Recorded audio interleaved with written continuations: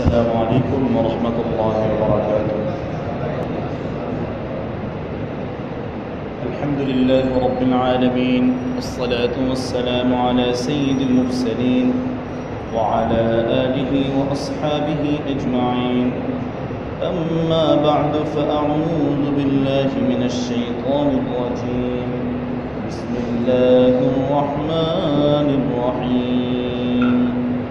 وقال الذين لا يرجون لقاءنا لولا أنزل علينا الملائكة أو نرى ربنا لقد استكبروا في أنفسهم وعتوا عتوا كبيرا. صدق الله العلي العظيم. وصدق رسوله النبي الأمي الكريم. ونحن على ذلك لمن الشاهدين والشاكرين والحمد لله رب العالمين সম্মানিত উপস্থিতি আল্লাহ সুবহানাহু ওয়া তাআলার দরবারে শুকরিয়া যে মহান আল্লাহ রব্বুল আলামিন আমাদেরকে রোজা অবস্থায় তার পবিত্র গুরুত্বপূর্ণ বিধান সালাত আদায়ের পরে কিছু সময়ের জন্য কোরআনুল করিমের এই আলোচনায় বসার তৌফিক দান করেছে। এজন্য শুক্রিয়া আদায় করি। আলহামদুলিল্লাহ। মোহতারম হাজিরিন, আজকে উনিশ নং পাড়া আমাদের সামনে আছে। সুরা হিসেবে সুরাতুল ফুরকানের তৃতীয় রূপ থেকে আজকে আমাদের আলোচনা শুরু হবে। এরপরে সুরা শাহরা সুরা নামলেন আংশিক কিছু অংশ, তেলাওয়াতে আমরা আজকে শুনব। সুরা ফুরকানের যে শেষ অংশটি আছে, এই জায়গায় আল্লাহ তাআলা মৌলিকভাবে যে বিষয়গুলোর আলোচনা এনেছে, বিভিন্ন জাতি সম্পর্কে আলোচনা হয়েছে, অবিশ্বাসী যারা আল্লাহকে বিশ্বাস করে না, তাদের মূল অবস্থাটা কি হবে? তাদের শাস্তির ধরনটা কেমন? এবং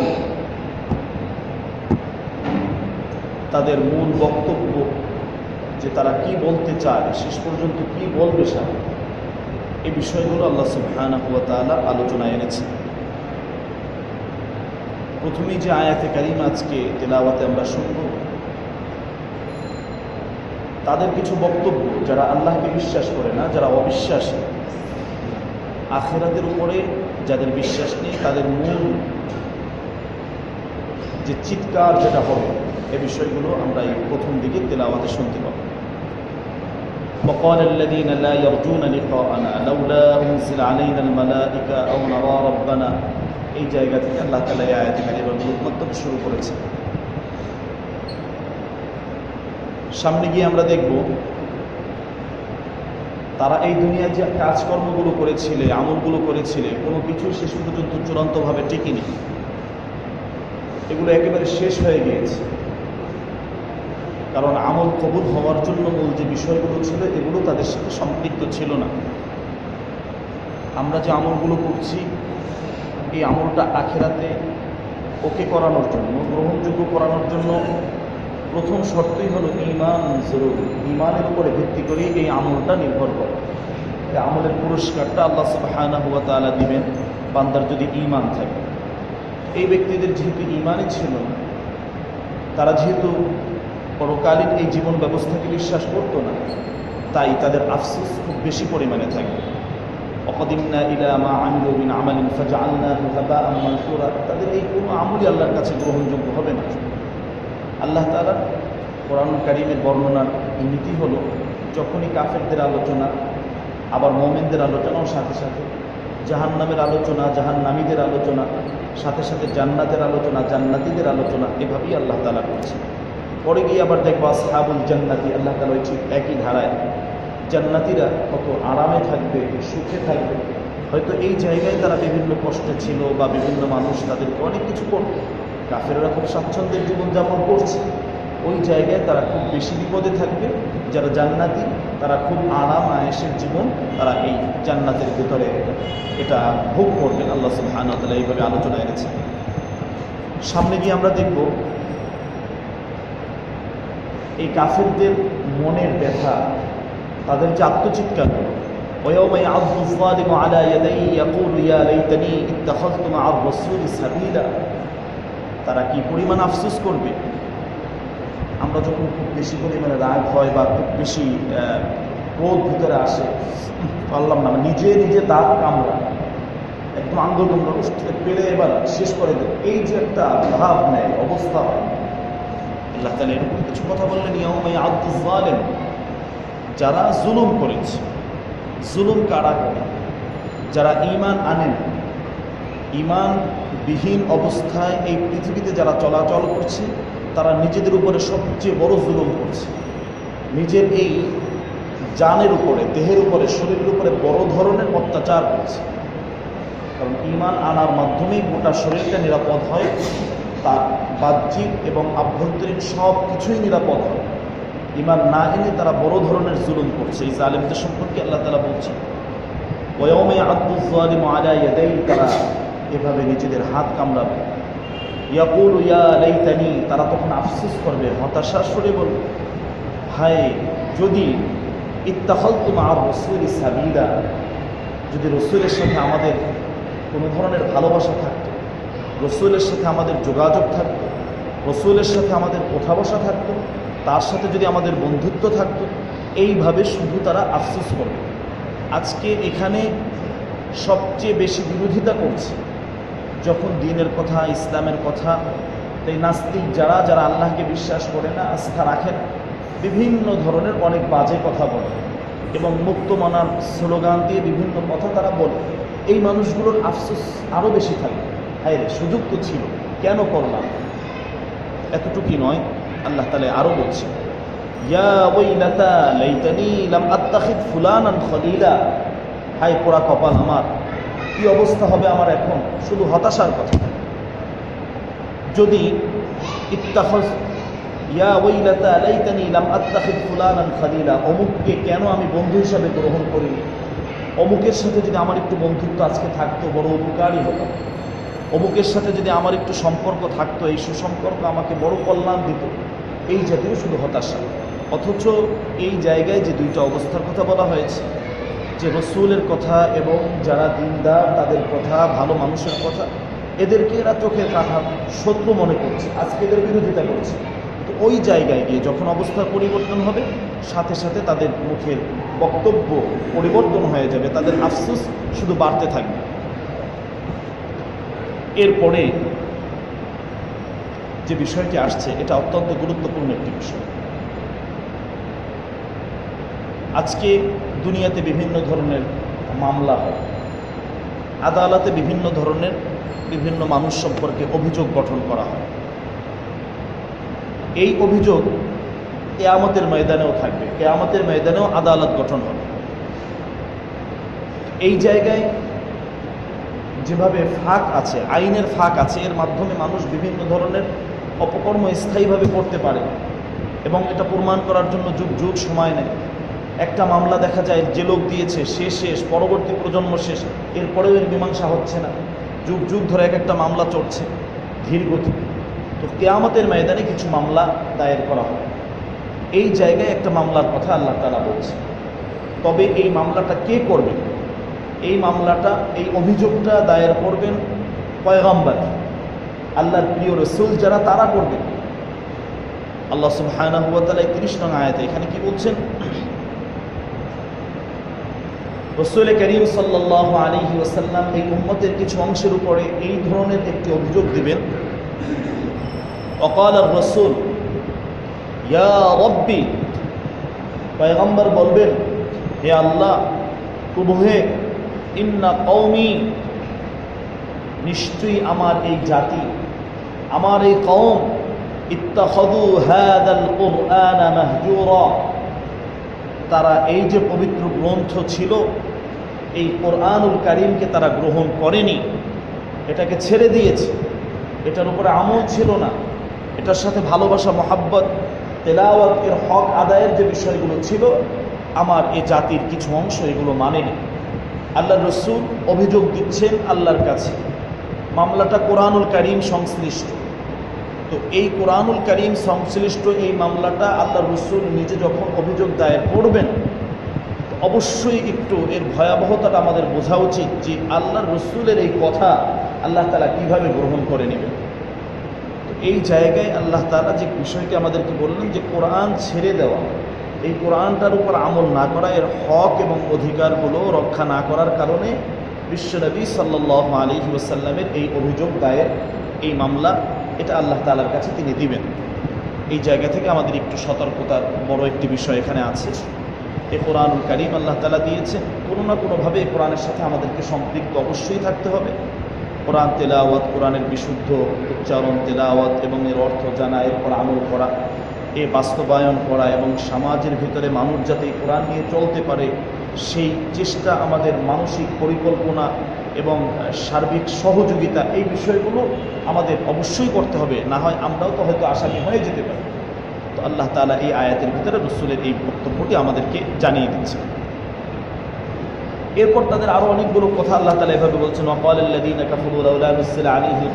কোরআন জুমলাত ওয়াহিদা। কোরআন কেন একত্রে নাজিল হয়নি? তারা মনে করছে, এই যে এখন একটি গ্রন্থ আকারে এরকম কোরআন পৃথিবীর ভিতরে চলে আসবে। এরকম নয়, বরং কোরআন তো আল্লাহ তালা নাজিল করেছেন যখন যতটুকু যে অবস্থায় প্রয়োজন প্রয়োজন অনুপাতে আল্লাহ তালা ওই জায়গা ভেদে, অবস্থা ভেদে আল্লাহ তালা কোরআন কারিম নাজিল করছেন। কাফেরদের একটি বক্তব্য ছিল, কোরআন একত্রে এভাবে নাজিল হয়ে যাবে। এই জাতীয় অনেকগুলো আলোচনা আজকে তেলাওয়াতের ভিতরে আমরা জানব।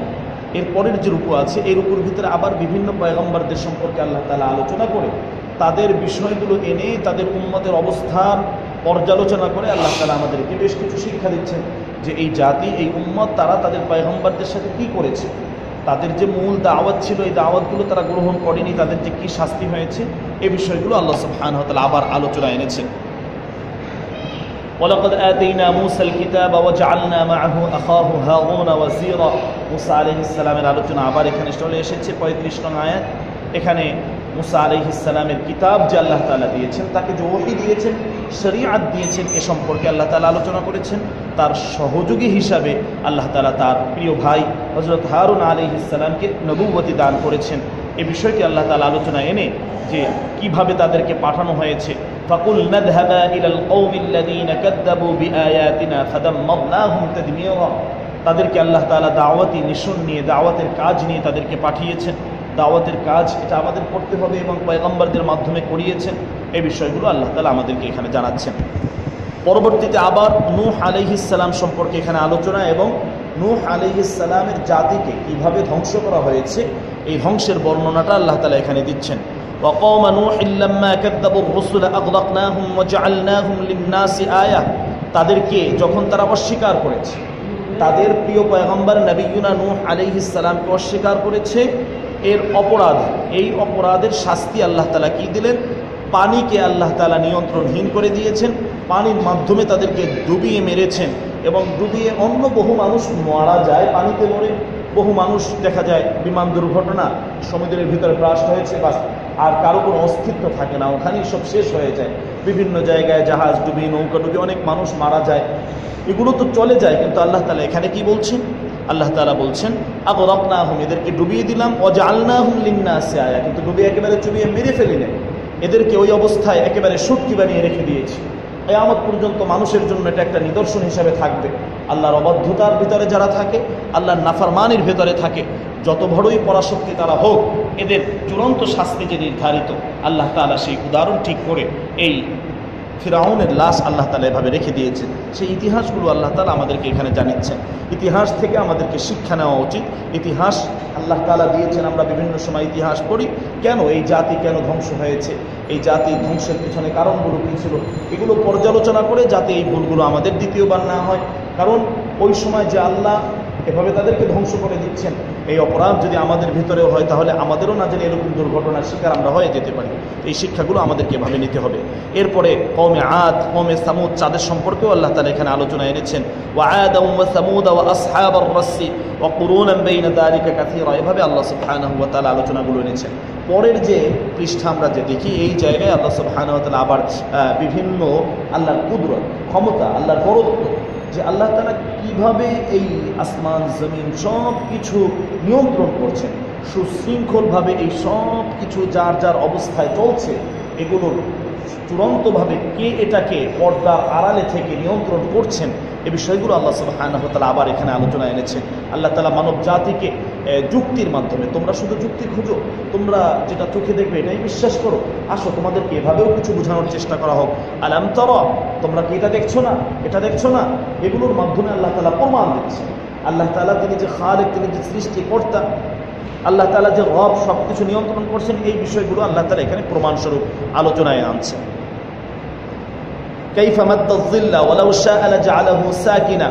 এই যে তোমরা এগুলো দেখছ ম্যাগরাজি এগুলো স্থির নয়। বিভিন্ন সময় এগুলো ছোটাছুটি করছে। দেখা যায় এই ছোট ছোট বাচ্চারা যেভাবে খেলাধুলা করে, কখন এখানে, কখন ওখানে, দৌড়ঝাঁপ করে, এই ম্যাগগুলো ম্যাগের রাশিগুলো বিভিন্ন সময় এগুলো খেলাধুলা করছে। কখনো এখানে, কখনো অন্ধকার হয়ে যাচ্ছে। একটু পরে আবার দেখা যায় আলো হয়ে যাচ্ছে, একটু পরে বৃষ্টি হচ্ছে।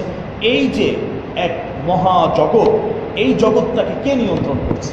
তোমাদের পৃথিবীবাসী যদি এরকম কাউকে কোনো দায়িত্ব দেওয়া হতো, মানুষ অক্ষম হয়ে যেত, হাজার আর হাজার বিলিয়ন এর পিছনে খরচ হতো, তারপরও বিভিন্ন বিশৃঙ্খলা, দুর্ঘটনা, বহু কিছু হতো। কিন্তু আল্লাহ সুবহানাহু ওয়া তাআলা এই যে কুদরত সৃষ্টি করে রেখেছেন, একটু দেখো না। ওয়ালাউ শাআ আলা জাআলাহু সাকিনা। ইচ্ছা করলে আল্লাহ তাআলা স্থির করে রাখতে পারতেন। কোনো ধরনের কোনো পরিবর্তন হবে না। যে জায়গায় অন্ধকার, অন্ধকারই থাকবে। যে জায়গায় আলো, আলোই থাকবে। এগুলো কোনো ধরনের কোনো পরিবর্তন পরিবর্তন এগুলো হবে না। এরকম যদি হতো, পৃথিবী মানুষের জন্য, এই পৃথিবীবাসীর জন্য বহু কষ্টের একটি কারণ হতো। আল্লাহ সুবহানাহু ওয়া তাআলা সব কিছু মানুষের উপকার আছে যেভাবে প্রয়োজন, ওইভাবেই আল্লাহ দিয়েছেন। কখনো আলো দিয়েছেন, কখনো অন্ধকার দিয়েছেন, কখনো মেঘ দিয়েছেন, কখনো ছায়া দিয়েছেন, কখনো রোদ দিয়েছেন, কখনো বৃষ্টি দিচ্ছেন। এই যে বিভিন্নভাবে, এগুলোর এক একটা এক একটা হেকমত আছে। আজকে যদি এই তারকারাজি এর আলোগুলো না থাকতো, আজকে বহু ফল ফলাদি আমরা অভাবে গ্রহণ করতে পারতাম না। এর ভিতরে পরিপক্কতা, এর ভিতরে এই যে পেকে যাচ্ছে একটা আম আমরা দেখছি, প্রথমে সবুজ হচ্ছে, এরপর হলুদ হচ্ছে, পেকে যাচ্ছে। এই যে এক একটা, এই প্রত্যেকটার পেছনে আল্লাহ তালা উপল থেকে মেডিসিন দিচ্ছেন। এই যে সূর্যের আলোতে একটা কাজ হচ্ছে, চন্দ্রের আলোতে আর কাজ হচ্ছে, এইভাবে বাতাসে একটা কাজ হচ্ছে, ঝড়ে একটা কাজ হচ্ছে রোদ বৃষ্টিতে আর একটা কাজ হচ্ছে, এই যে আবহাওয়ার পরিবর্তন, যা কিছু নিয়ন্ত্রণ, এই প্রত্যেকটা মানুষের উপকারের জন্য। তোমরা কি এগুলো দেখবে না? সুম্মা জাল্লা শামসা আলাইহি দালিলা। তোমরা দলিল খুঁজো।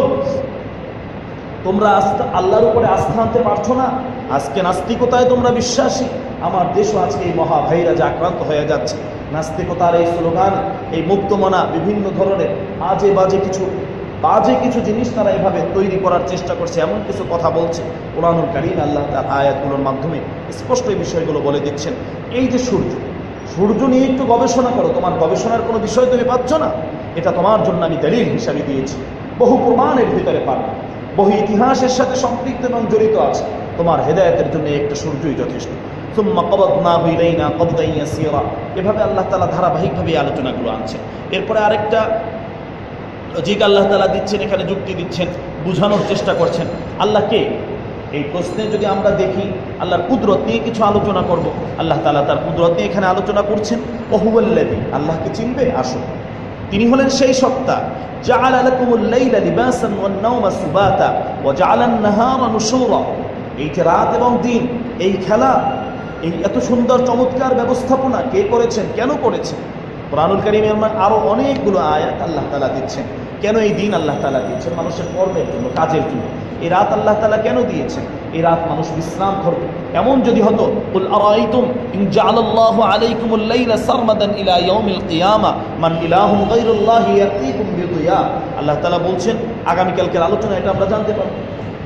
আল্লাহ তাআলা বলেন, এমন কোন সত্তা আছে, এমন কোন ক্ষমতা আছে এমন কোন শক্তিশালী সত্তা আছে? নাহার। এই যে রাত দিন দেখছ, এই দিনটাকে যদি এভাবে স্থায়ী করে দেয়, হুকুম দিয়ে দেয়, এই দিন আর কখনো রাত হবে না, দিন দিনই থাকবে। এরকম যদি একটা হুকুম দিয়ে থাকে, আল্লাহ তালা এমন কি আছে? এয়ামত পর্যন্ত এমন কোন শক্তি আছে এই দিনটাকে পরিবর্তন করে, এটাকে রাত বানাবে? কৃত্রিমভাবে তোমরা হয়তো আলোর জায়গা অন্ধকার সৃষ্টি করতে পারবে। সামগ্রিকভাবে এই সূর্যটাকে তোমরা কীভাবে সরাবে? এই সূর্য সরিয়ে এখানে চন্দ্রের ব্যবস্থা কে করতে পারবে? এমন কোন সত্তা সত্তা আছে? এর আল্লাহকে মানবে না? আল্লাহ তালা এভাবে পাঠ ভাই পাঠ যুক্তি দিচ্ছেন। তোমরা বিভিন্ন শক্তিতে বিশ্বাস, তোমরা ক্ষমতায় বিশ্বাস।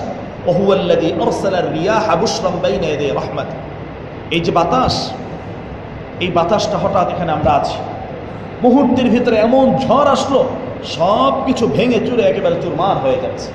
এই যে এক একটা টর্নেডো, বিভিন্ন ধরনের এই যে বাতাসগুলো আসে, প্রবাহগুলো যেগুলো আসে, এর মাধ্যমে বহু জাতির ইতিহাস পরিবর্তন হয়ে যায়, বহু জাতির স্থায়ী আবাস বই পরিবর্তন হয়ে যাচ্ছে। এর পিছনে কোন শক্তি কাজ করছে? আজকে মানুষ তো বহু কিছুই আবিষ্কার করছে, বহু ক্ষমতার দাপট দেখাচ্ছে এই সমস্ত জায়গাগুলো কে নিয়ন্ত্রণ করবে? আল্লাহ তালা মানুষদেরকে সতর্ক করছেন। আবার কখনো কখনো তোমাদের জন্য এমন নিরাপদ বাতাস দেওয়া হয়, এমন আরামের জিনিস দেওয়া হয়, যার মাধ্যমে তোমাদের আত্মিক প্রশান্তি চলে আসে। তোমাদের ভিতরে শান্তি চলে আসে, রহমতের বৃষ্টি বাড়ি ধারার মাধ্যমে পুরা জমিন সিক্ত হয়ে যায়। তোমরা প্রচণ্ড গরমের ভিতরে আছো, তোমরা প্রচণ্ড তাপের ভিতরে আছো। ঠিক এই মুহূর্তে একটু বৃষ্টির প্রয়োজন ছিল, এই হাহাকার, এই জমিন, এই যে জমিন গরম হয়ে গিয়েছে, এই জমিনটাকে আল্লাহ তালা মুহূর্তের ভিতরে আবার ঠান্ডা করে দেন। রমজানের আগের কি অবস্থা ছিল? রমজানের আগের অবস্থাটা আমরা দেখি এক সপ্তাহ আগে, কি প্রচণ্ড তাপ পিরিক প্রচণ্ড গরম সাঁত্রিশ আটত্রিশ, উনচল্লিশ পর্যন্ত আমাদের সিসিআর ডিগ্রি আমাদের চলে যাচ্ছে। তো আল্লাহ তালা এখন আবার কি সুন্দর, স্বাভাবিক নর্মাল এভাবে নিয়ে এসেছে।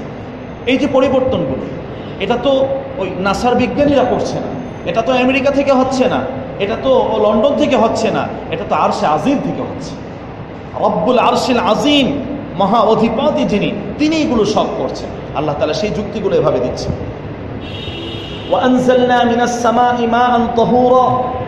আজকে আমি আল্লাহকে তোমরা চিনছো না? দেখো, এই যে পানি, পানির অপর নাম জীবন। এই সুপ্রিয় পানি কে তোমাদের জন্য সৃষ্টি করছে? আজকে মাম কিনে খাচ্ছ, ফ্রেশ কিনে খাচ্ছ এই পানি ভালো লাগে না, ওই পানি বিভিন্ন ধরনের যে কথাগুলো, এই জমিনের নিচে এই পানির স্তরটা কে সৃষ্টি করল?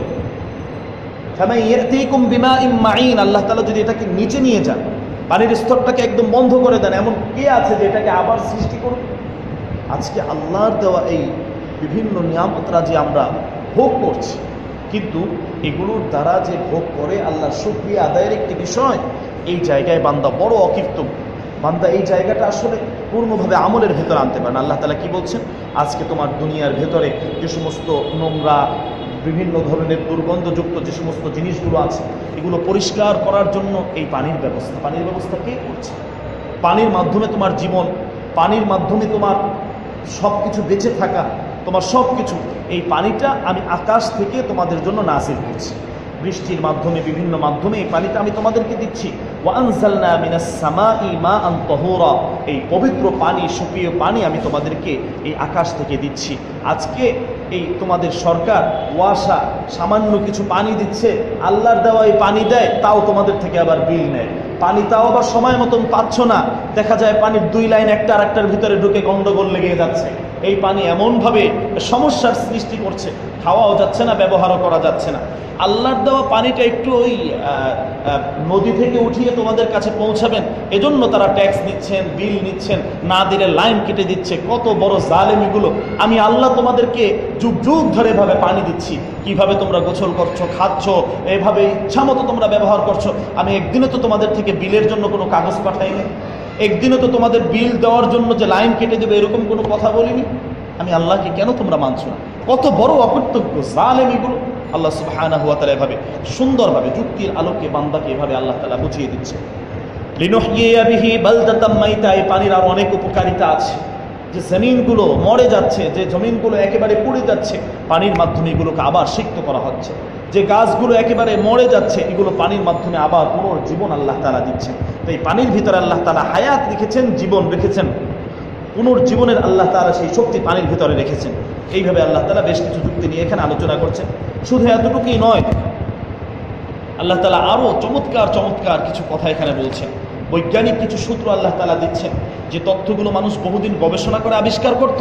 আল্লাহ তালা কোরআনুল করিমে আগেই বিষয়গুলো দিয়েছেন। দেখো وهو الذي مرج البحرين هذا عذب فرات وهذا ملح أجاج আল্লাহ আকবার কত বড় চমৎকার জিনিস আল্লাহ তালা এখানে দিচ্ছে এ সম্পর্কে আরো অনেকগুলো আয়াত আছে وجعل بينهما برزخا وحجرا محجورا আজকে নদ নদী সাগর সমুদ্র আমরা দেখছি মহাসমুদ্র আমরা দেখছি এই সমুদ্রর কিছু বিষয় আল্লাহ তালা এখানে বলছেন দেখো আল্লাহ তালাকে চিনবে আল্লাহ তালাকে চিনতে তোমাদের মঙ্গল গ্রহে যেতে হবে না। এই জায়গায় বসেই তোমরা আল্লাহকে চিনতে পারবে। আল্লাহ তালাকে চিনতে খুব বড় বড় ধরনের ব্যাকরণ গ্রামার করতে হবে, বড় শিক্ষিত হতে হবে। বিষয়টি এমন নয়। সাধারণ এখানে বসে তোমার ব্রেনটা একটু কাজে লাগাও। একটা চিন্তা শক্তিটা কাজে লাগাও। ইয়াতাফাক্কারুনা ফি খালকিস সামাওয়াতি ওয়াল তোমার জবান থেকে বের হয়ে যাবে। রব্বানা মা খালাকতা হাদা বাতিলা। আসমান, জমিন, যা কিছু দেখছি, কোনোটাই অনর্থক সৃষ্টি করেনি। এর পিছনে অবশ্যই কারণ আছে। আল্লাহ তাআলা কি বলছেন? ওহুয়াল্লাযী, তিনি সেই সত্তা, মারাজাল বাহরাইন। আল্লাহ তাআলা সমুদ্র সৃষ্টি করছে। আজকে একটা পুকুর আমরা কাটবো, এই পুকুর কাটার জন্য কত খরচ আমাদের? কতজন লোক আমাদের কাজ করতে হয়? এরপরে মাটি টানো, এগুলো আবার কোথায় ফেলবে সে আর এক ঝামেলা। এরপর পানির স্তর, পানি আসছে কতটুক কতটুক কত ঝামেলা। কিন্তু একটু নদীর দিকে তাকাই। এই বিশাল এক একটা নদী এই যে পদ্মা মেঘনা যমুনা, আজকে এত আমরা গান বলছি, বিভিন্নভাবে পদ্মা মেঘনা যমুনা, কত কিছু আমরা করছি। এই কর্ণফুলী সুরমা, এই যে বিভিন্ন ধরনের নদী যেগুলো আমরা বলছি, এই নদীগুলো কে কেটেছে? কতজন মানুষ এই নদীগুলো কেটে এরকমভাবে নদী বানিয়েছে? নদীর এই যে লিঙ্কগুলো যে কীভাবে পুরা দেশব্যাপী আমাদের মাতৃভূমিতে, আমরা যদি দেখি প্রত্যেকটা এলাকায় দেশে কি সুন্দরভাবে, চমৎকারভাবে ঘুরিয়ে ঘুরিয়ে এক একটা নদী আল্লাহ তালা সৃষ্টি করে রেখেছেন। কত হাজার লোক এর পেছনে শ্রম দিয়েছে। কতজন মানুষ এই নদী কেটে এখানে পানি এনেছে। আল্লাহ তালা শুধু এগুলো নিয়ে চিন্তার জন্য বলেছেন। এই যে মহাসমুদ্র, আমরা আমাদের দেশের বঙ্গোপসাগরটা দেখি না। কতজন মানুষ এই বঙ্গোপসাগর মিলে এটাকে কেটে এরপরে পানির ব্যবস্থা করেছে। আটলান্টিক মহাসাগর, ভারত মহাসাগর, অন্যান্য সমুদ্রগুলো আমরা যদি দেখি, আল্লাহ সুবহানাহু ওয়া এই বিষয়গুলোর আলোচনা এনেছে। এই চতুর্দিক ঘিরে আমি তোমাদের পানি রেখেছি। তোমরা দুনিয়ার ভিতরে, এই যে আমরা যে সমস্ত ময়লাগুলো, আমাদের উচ্ছিষ্ট, আমাদের যে বিষয়গুলো এখানে হচ্ছে, এগুলো কি হচ্ছে? শেষ পর্যন্ত গিয়ে দেখা যায়, সেই শীতালক্ষায় পড়ছে, না হয় বুড়িগঙ্গায় পড়ছে। এগুলো আবার দেখা যায়, এই ঘুরে ফিরে, এই শীতালক্ষার পানিগুলো আবার আমাদের সামনে ফ্রেশ করে নিয়ে আসা হয়েছে। এই সমুদ্রগুলো, আল্লাহ তাআলা কত চমৎকার ব্যবস্থাপনা এখানে রেখেছেন। সমুদ্রের পানিগুলো আপনি দেখবেন, নদীর পানি মিষ্টি, সমুদ্রের পানি নোনা। কেন? সমুদ্রের পানি এত লবণাক্ত কেন করেছে? লবণের একটি বৈশিষ্ট্য হলো কোনো জিনিসকে একদম পরিশুদ্ধ করে দেয়। এটাকে সুন্দর করে দেয়। রিফাইন করার জন্য এটা সবচেয়ে বেশি গুরুত্বপূর্ণ একটি ভূমিকা রাখে। তো এই পৃথিবীর সমস্ত ময়লাগুলো শেষ পর্যন্ত চূড়ান্তগুলো, এই পানিগুলো সব গিয়ে সমুদ্রে মিশে। যখন সমুদ্রে চলে যায়, পুরা সমুদ্রের পানির সাথে মিশ্রিত হয়ে এগুলো আবার একদম ফ্রেশ হয়ে যায়। এগুলো আবার নদী বিভিন্ন ধারা, উপধারায় বিভক্ত হয়ে আমাদের খাল, বিল, নদী নালার ভিতরে চলে আসে। এগুলো আবার আমরা একদম সুন্দর পানি হিসাবে দেখতে পাই। সমুদ্রের ভিতর আল্লাহ তালা লবণোত্তর মাত্রা এত বেশি রেখেছেন যাতে এই সমস্ত ময়লাগুলো, আবর্জনাগুলো ওই জায়গায় গিয়ে ক্লিন হয়ে আবার আমাদের সামনে ফ্রেশ হয়ে চলে আসে। এই যে বিশাল এক কারখানা, কোনো ধরনের কোনো লোক এখানে দেখিনি। জনবল নিয়োগের প্রয়োজন হয়নি, মন্ত্রণালয়ের মন্ত্রী পাল্টানোর প্রয়োজন- হয়নি, কোনো দুর্নীতির কোনো অভিযোগ এখানে আসেনি। আমরা সামান্য পরিমাণ একটু ওয়াসা, সামান্য পরিমাণ এই জাতীয় বিভিন্ন মন্ত্রণালয় দেখা যায়, আল্লাহর দেওয়া জিনিস নিয়ে আমরা এগুলো উৎপাদন করি, বিদ্যুৎ মন্ত্রণালয়, পানি মন্ত্রণালয়, অন্যান্য যে সমস্ত জিনিস, কত ধরনের কত অভিযোগ, অনুযোগ, কত ধরনের কত সমস্যা, আল্লাহ তালা এই বিশাল জমিনের নিয়ন্ত্রণ আল্লাহ নিজে করছে। এই জায়গায় এসে আল্লাহ তালা বলেন, দেখো দুইটা সমুদ্র পাশাপাশি তোমরা যদি দেখো, দেখবে স্পষ্ট দুইটার মাঝে একটা ভাগ আছে। দুই সমুদ্রের মাঝে একটা সীমা, সীমানা আছে, একটা ভাগ আছে। তুমি দুইটি পানি দেখবে, একটু খেয়াল করলে, জ্ঞানীদের জন্য আল্লাহ তালা এই আলোচনা রেখেছে। দেখবে এই পাশের পানি পূর্ণ স্বচ্ছ, এই পাশের পানি আবার অস্বচ্ছ। একত্রেই পানির মিশ্রণ হচ্ছে। তো এই পানিটা যখনই এখানে যায়, স্বচ্ছ হয়ে যাচ্ছে। অদৃশ্যভাবে। অদৃশ্যভাবে এই মেশিন পত্র এগুলো কে সৃষ্টি করে রেখেছে? এগুলোর নিয়ন্ত্রণ কে করছে? এই পানি তুমি খাবে, এটা দেখবে লবণাক্ত। ঠিক এক হাত পরের পানি তুমি দেখো, এটা আবার পোড়া মিষ্ট পানি। দুইটার মাঝে একদম স্পষ্ট একটা বিভক্তি আছে। এই আয়াতে কারিমাগুলো নিয়ে বহু গবেষণা হয়েছে এবং বাস্তবে যেটা আছে, সমুদ্র ভ্রমণ করে এগুলোর পূর্ণ অভিজ্ঞতা মানুষ এটা অর্জন করেছে এবং বাস্তবে আসলে সমুদ্রের ভেতরে আল্লাহ তাআলা এভাবে ভাগ করে রেখেছেন যে আল্লাহ তালা মানব জাতির উপকারের জন্য। আল্লাহ তালা এই জায়গায় যে বিষয়টি বললেন, মারাজাল বাহরাইন তোমরা যখন বিভিন্ন সমুদ্র সফর করবে, সমুদ্রের ভিতরে যাবে, দেখবে দুই সমুদ্র পাশাপাশি অবস্থান করছে। হাদা আদবুন ফুরাত একটার পানি সুমিষ্ট। কি চমৎকার পানি, বাহ! ফ্রেশ একেবারে পানি। ওহাদা মিলহুন উজাজ। একটু পাশেই তুমি আবার হাত দাও, দেখবে মিলহুন একেবারে পূর্ণ লবণাক্ত পানি। আল্লাহ তালা হিকমত বর্ণনা করেছেন। আল্লাহ এই আয়াতে রহমানের ভিতরেও আল্লাহ আলোচনা এনেছে। এই আমরা একটু দেখে নেব। দুইটার মাঝে আল্লাহ পার্থক্য এরপরে আল্লাহ এই অনেকগুলো যুক্তির আলোচনা করেছেন।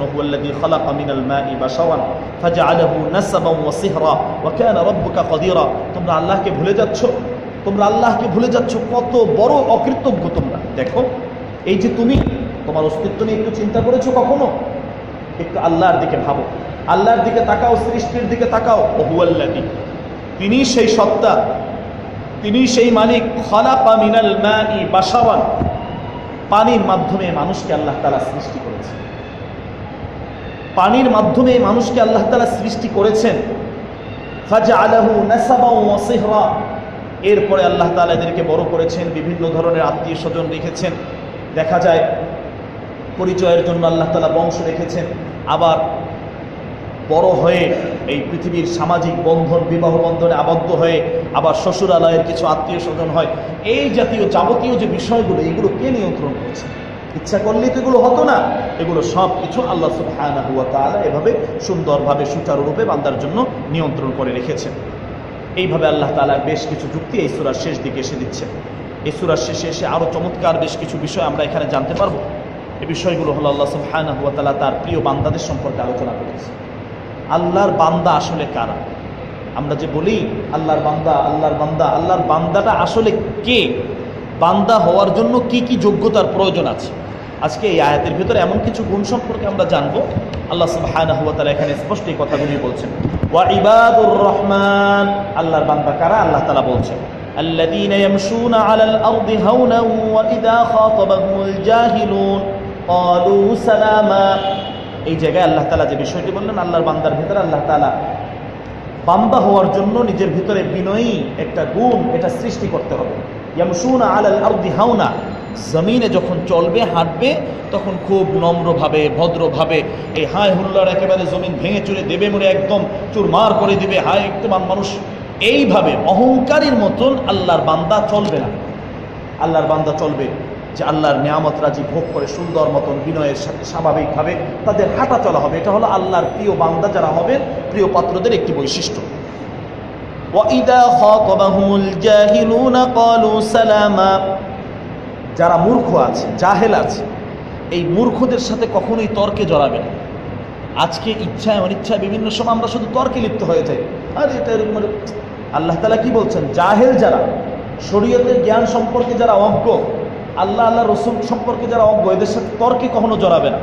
যদি বুঝতে আসে, বুঝার জন্য যতটুকু ততটুকু তাদেরকে বল। তাদেরকে দাওয়াত দাও, এটা ঠিক আছে। কিন্তু তর্ক বিতর্ক বাহাস করে তাদেরকে বুঝাতে তোমরা পারবে না। হ্যাঁ। বরং তাদের সাথে নিরাপদ দূরত্ব বজায় রেখে সালাম। ভাই, তুমি শান্তিতে থাকো। আমাকেও শান্তিতে থাকতে দাও। সালাম। এইভাবে বলে একজন আল্লাহর খাঁটি বান্দা সে ওখান থেকে চলে আসে। কারণ এই তর্ক বিতর্ক, কারণ সে তো মানবে না। তার ভিতরে একঘেয়ামি আছে ঘাউড়ামি আছে। ও মানবে না, শেষ পর্যন্ত শত্রুতা করবে, মারামারি করবে, হানাহানি করবে, বিভিন্ন ধরনের অপবাদ দিবে। এই জাতীয় বিশৃঙ্খলা সৃষ্টি হবে। আল্লাহ তালা বলেন, নিরাপদ দূরত্বে তুমি বজায় রাখো। তোমার গাড়ির পিছনে তুমি লিখে রাখছো, নিরাপদ দূরত্বে থাকুন, এত গজ পিছনে থাকুন। না, কিছু মানুষও আছে, তাদের থেকে নিরাপদ দূরত্বে থাকতে হয়। এদের কাছে গেলে অ্যাক্সিডেন্ট হয়। এদের কাছে গেলে মানুষ উত্তেজিত হয়ে যায়, ঝগড়া লেগে যায়, মারামারি লেগে যায়। এদের থেকে নিরাপদ দূরত্বে, ভাই, আসসালাম আলাইকুম। কেমন আছেন? ভালো আছেন? এতটুকুই শেষ তোমার সাথে সম্পর্ক। কলু সালামা। কারণ এরা বুঝবে না, মানবে না, মানার জন্য আসেনি। শুধু শুধু অনার্থক তর্কের জন্য। অনেক সময় আমাদের কাছে আসে। আসলে জিনিসটা জানার জন্য। শুধু শুধু এটা এমন হয়েছে, আরে ভাই, আপনি সুরা ফাতেহাটা বলুন না। অমুকে কি করেছে, অমুকে কোথায় কি হয়েছে, এটা না। আপনার জন্য নামাজটা বিশুদ্ধভাবে হয় কিনা যে ঠিক আছে, এটা দেখুন। বা এটা হয় কিনা। মাসলা মাসায় না। অমুক এটা কেন করেছে, এটা এমন হয়েছে কেন?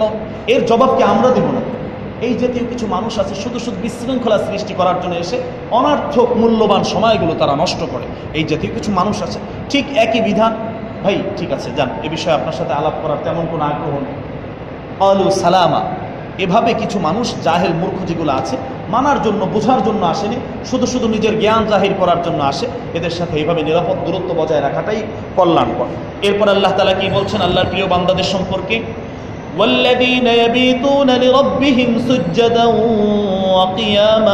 আল্লাহর প্রিয় বান্দাদের বড় একটি পরিচয় হলো, ইয়াবিতুন আলী রব্বিহীন এর আগে আল্লাহ তালা দিন এবং রাত্রির বিভিন্ন কল্যাণমূলক দিনগুলো নিয়ে আলোচনা করেছেন। আল্লাহর প্রিয় পাত্র যারা হবেন, রাত্রিবেলা তাদের আমলটা কি হবে? তাদের কর্মসূচিটা কি হবে? তাদের কাজটা কি হবে? আর আমাদের কাজকে একটু মিলানোর দরকার আছে। আমি নিজেকে একটু কাঠগড়ায়, সামান্য সময়ের জন্য দাঁড়ায়, দাঁড় করাই আমি এখন নিজেকে কেমন যেন অদৃশ্যভাবে একটা কাঠগড়ার ভাবে দাঁড় করালাম। এবং আল্লাহর প্রিয় বান্দাদের যে লিস্টিগুলো আছে, এখানের সাথে আমার নিজেকে একটু মিলানোর চেষ্টা করলাম যে আসলে আমার ভিতরে এই সমস্যা আছে কিনা। বিনয়ের সাথে মানুষকে সালাম দিয়ে যখন রাস্তায় হাঁটবো, পথের একটা হক আছে, পথিকের একটা হক আছে। পথের হক হলো সুন্দরভাবে হাঁটা ডান দিক দিকে চলা, হাঁটতে সোবাহান আল্লাহ আলহামদুলিল্লাহ, দিকের অবস্থায় চলা। রাস্তায় কোনো কষ্টদায়ক, ময়লাদায়ক কোনো বস্তু থাকলে এগুলোকে দূরে সরিয়ে দেয়া। মানুষ যাতে কষ্টে না পড়ে, একটা ইট দেখলাম, কলার ছিকলা দেখলাম, এগুলো সরিয়ে দেয়া, কোনো খারাপ কিছু দেখলাম, এগুলো হলো রাস্তার হক। একজন পথিকের সাথে আমার দেখা হবে। আসসালাম আলাইকুম, কেমন আছেন? ভালো আছেন? এগুলো হলো পথিকের হক। পথ এবং পথিকের কিছু হক আছে। এভাবে আমি চলবো। এটা হলো ইসলামের নির্দেশ। এখন আমার নিজেকে আমি একটু ফিট করে দেখি যে আসলে আমার চলার ক্ষেত্রে সুন্দরভাবে স্বাভাবিকভাবে এভাবে হাঁটা চলা হয় কিনা। নাকি, আরে দোস্ত, এভাবে হয়েছে এভাবে হয়েছে, এমন কিছুভাবে আনন্দ মানে হাসি উঠল এভাবে চললাম, মানুষ গেল, তার সালাম কালাম, কে গেল, কে আসলো, একজন অসুস্থ ব্যক্তি তাকে আগে সাইড দেওয়া। এই জাতীয় কিছু আদবের বিষয় আছে, এগুলো আসলে হচ্ছে কি না এই বিষয়গুলো একটু ভালোভাবে দেখা। তো নিজে নিজের ব্যাপারটা। দ্বিতীয় এখানে আরেকটি বিষয় এখানে আসছে, ইয়াবিতুন আলী রব্বিহীন তাদের রাত্রিকালীন কর্মসূচি হলো, আমল হলো, যে তারা রাত্রিবেলা প্রভুর জন্য ইয়াবিতুন আলী রব্বিহীন আল্লাহর জন্য সুজ্জাদান ওয়া কিয়ামা, দুইটা অবস্থা, তারা সালাতের ভিতরে থাকে। হয় তারা সিজদার ভিতরে থাকবে, না হয় কিয়ামের ভিতরে থাকবে। আল্লাহর প্রিয় বান্দাদের লিস্টিতে আল্লাহ তাআলা বলছেন, আমি কাদেরকে ভালোবাসি? আমি যাদের ভালোবাসি, তাদের ভিতরে এই গুণগুলো থাকার প্রয়োজন আছে। এখন আমরা আমাদের রাত্রিকালীন অবস্থাটা একটু মিলানোর চেষ্টা করি। আমরাও তো এই রাত্রি ভোগ করছি। এই রাত্রিটা আল্লাহ তালা দিয়েছেন নিয়ামত স্বরূপ। এই নিয়ামতের ভিতরে যে আমার এই সুক্রিয়াগুলো আদায় করে, এভাবে তুমি তোমার কাজগুলো পরিচালনা করো। এখন আমার রাত্রিটা কেমন যাচ্ছে? আমি গিয়ে কি করছি? টিভির সামনে বসছি। টিভির সামনে বসে বিভিন্ন ধরনের নাটক, খবর, এগুলো দিয়ে আমি দীর্ঘ একটা সময় এখানে নষ্ট করছি। এবার বিভিন্ন ধরনের আজে বাজে গল্প গুজব। এভাবে করতে করতে দেখা যায় বারোটা একটা আমার ঘুমাতে ঘুমাতে, এই যে ঘুম দিলাম, সকাল আটটা, নয়টায় উঠলাম, উঠিয়ে আবার অফিসে গেলাম। এই হলো আমার রাত্রিকালীন কর্মসূচি। এখানে আল্লাহ তালা বলছেন, সুজ্জাদান ওয়া কিয়ামা। রাতের কিছু অংশ মাওলা পাকের জন্য তোমাকে বরাদ্দ রাখতে হবে। আল্লাহ রসুলের রাত্রিকালীন অবস্থার তিনটা ভাগ আছে। বিশ্বনবী সাল্লাহ সাল্লাম তার রাত্রতাকে তিন ভাগে ভাগ করতেন। ইন্না লিজা লিজাসাদিকা আলাইকা হাক্কুন। তোমার শরীরের একটা হক আছে। শরীরের হক কি? সারাদিন পরিশ্রম করছ, শরীরটাকে একটু বিশ্রাম দিতে হবে। তুমি গাড়ি চালাচ্ছ, দীর্ঘ সময় চালানোর পরে ইঞ্জিলটাকে একটু বিশ্রাম দাও। না হয় এই ইঞ্জিল আর কাজ করবে না। কিছু সময় তোমার শরীরটাকে এভাবে বিশ্রাম দিতে হবে। আল্লাহ রসুল সাল্লাহ সাল্লাম স্বাভাবিকভাবে রাত্রিকালীন অবস্থাকে তিন ভাগ করতেন। কিছু সময় নিজের শরীরের দেহের সুস্থতার জন্য বিরামের বিশ্রাম আল্লাহ রসুল করতেন, ঘুমাতেন। এরপরে কিছু সময় স্ত্রীর হক আছে, সন্তানদের হক আছে। স্ত্রী, পরিবার, বাচ্চা, সন্তান, এদের হকের জন্য কিছু সময় বরাদ্দ বিশ্বনবী সাল্লাহ সাল্লাম রাখতেন। এবং সর্বশেষ আমি আমার নিজের হক আদায় করলাম, স্ত্রী সন্তানদের হক আদায় করলাম, এখন আমার মাওলা পাকের হক আমাকে আদায় করতে হবে। শেষ অংশে উঠে আল্লাহ রসুল সাল্লাহ ইসলাম দাঁড়িয়ে যেতেন। তাহাজুদের ভিতরে এই যে কথা বলা হয়েছে, সুজ্জাদান বা কেয়ামা, সেজদা এবং কেয়াম কেয়াম নামাজের ভিতরে দাঁড়ানো অবস্থায় এবং সেজদারত অবস্থায় এবং শেষ রাত্রে অবিল আসহারিহুম ইয়াস্তাগ ফিরোন শেষ রাত্রে এই সব আমল পরে আল্লাহর কাছে ইস্তেগফার করে, দোয়া করা কেন কলিল মিনাল্লাইল ইয়াহজাউন, আল্লাহ তাআলা অন্য সূরার ভিতরে এই আলোচনা করেছেন সূরা দারিয়াতের ভিতরে তাহলে আল্লাহর প্রিয় বান্দাদের বিশেষ একটা গুণ হলো এটা আমরা আমাদের অবস্থা একটু মিলিয়ে নেই যে আমাদের রাত্রিকালীন সময়টা কিভাবে আমরা অতিক্রম করছি কিভাবে আমরা কাটাচ্ছি এরপর আল্লাহর প্রিয় বান্দাদের আরেকটি বড় বৈশিষ্ট্য হলো والذين يقولون ربنا اصرف عنا عذاب جهنم إن عذابها كان غراما إنها ساءت مستقرا ومقاما এই আয়াতগুলোতে আরেকটি বৈশিষ্ট্যর কথা আল্লাহ তালা বলছেন। আল্লাহর প্রিয় বান্দা যারা হবে, তারা সবসময় জাহান নামের ব্যাপারে খুব ভীত সন্ত্রস্ত থাকবে। জাহান নামের আজাব থেকে মাপ জাহান নামের আজাব থেকে মুক্তির জন্য আল্লাহর কাছে খুব কান্নাকাটি করবে। আল্লাহর কাছে বলবে, রব্বানা শ্রীফ আন্না আদা বা জাহান্নাম। হে আল্লাহ, জাহান্নামের আদাবকে আমাদের থেকে সরিয়ে দাও। জাহান্নাম থেকেও আমাদের দূরত্ব বজায় রেখে আমাদের নিরাপদ দূরত্বে সরিয়ে দাও। আমাদেরকে জাহান্নাম থেকে বাঁচাও। এভাবে শুধু আল্লাহর কাছে জাহান্নাম থেকে মুক্তির প্রার্থনা, দোয়া, এটা হলো আল্লাহর নেককার মোমেন বান্দা যারা, তাদের বড় একটি বৈশিষ্ট্য। রমজানুল মোবারকের ভিতরে বড় যে আমলগুলো আছে, শ্রেষ্ঠ যে আমলগুলো আছে বিশ্বনবী সাল্লাহ আলাইস্লামের ভিতরে, যে আমলগুলোর কথা বলেছেন তোমরা আল্লাহর কাছে বেশি বেশি জান্নাত প্রার্থনা করো, জাহান্নাম থেকে তোমরা আল্লাহর কাছে আশ্রয় চাও। হাদিসের ভিতরে আরও এসেছে, আল্লাহর কোনো বান্দা তিনবার যদি জাহান্নাম থেকে আশ্রয় চায়, একই জায়গায় বসে তিনবার আল্লাহ জিন্না মিনান্নার আল্লাহ জিন্না মিনান্নার আল্লাহ জিন্না মিনান্নার জাহান্নাম থেকে এভাবে তিনবার আশ্রয় চাইল, হাদিসের ভিতরে এসেছে, জাহান্নাম তখন আল্লাহর কাছে সুপারিশ করে, আল্লাহ তোমার এই বান্দা জাহান্নাম থেকে বাঁচার জন্য তোমার কাছে দরখাস্ত করছে, ফরিয়াদ করছে। মালিক গো, তোমার এই বান্দাকে জাহান্নাম থেকে মুক্তি দাও। জাহান্নামও তখন আল্লাহর কাছে সুপারিশ করে জাহান্নাম থেকে মুক্তির জন্য। ঠিক জান্নাত চাইলে জান্নাত সুপারিশ করে আল্লাহ তোমার বান্দার জন্য জান্নাতের ফায়সলা করে দাও। তাহলে সব সময়ের জন্য জাহান্নাম থেকে বাঁচার আমল করা এবং দোয়া করা দুইটা বিষয়।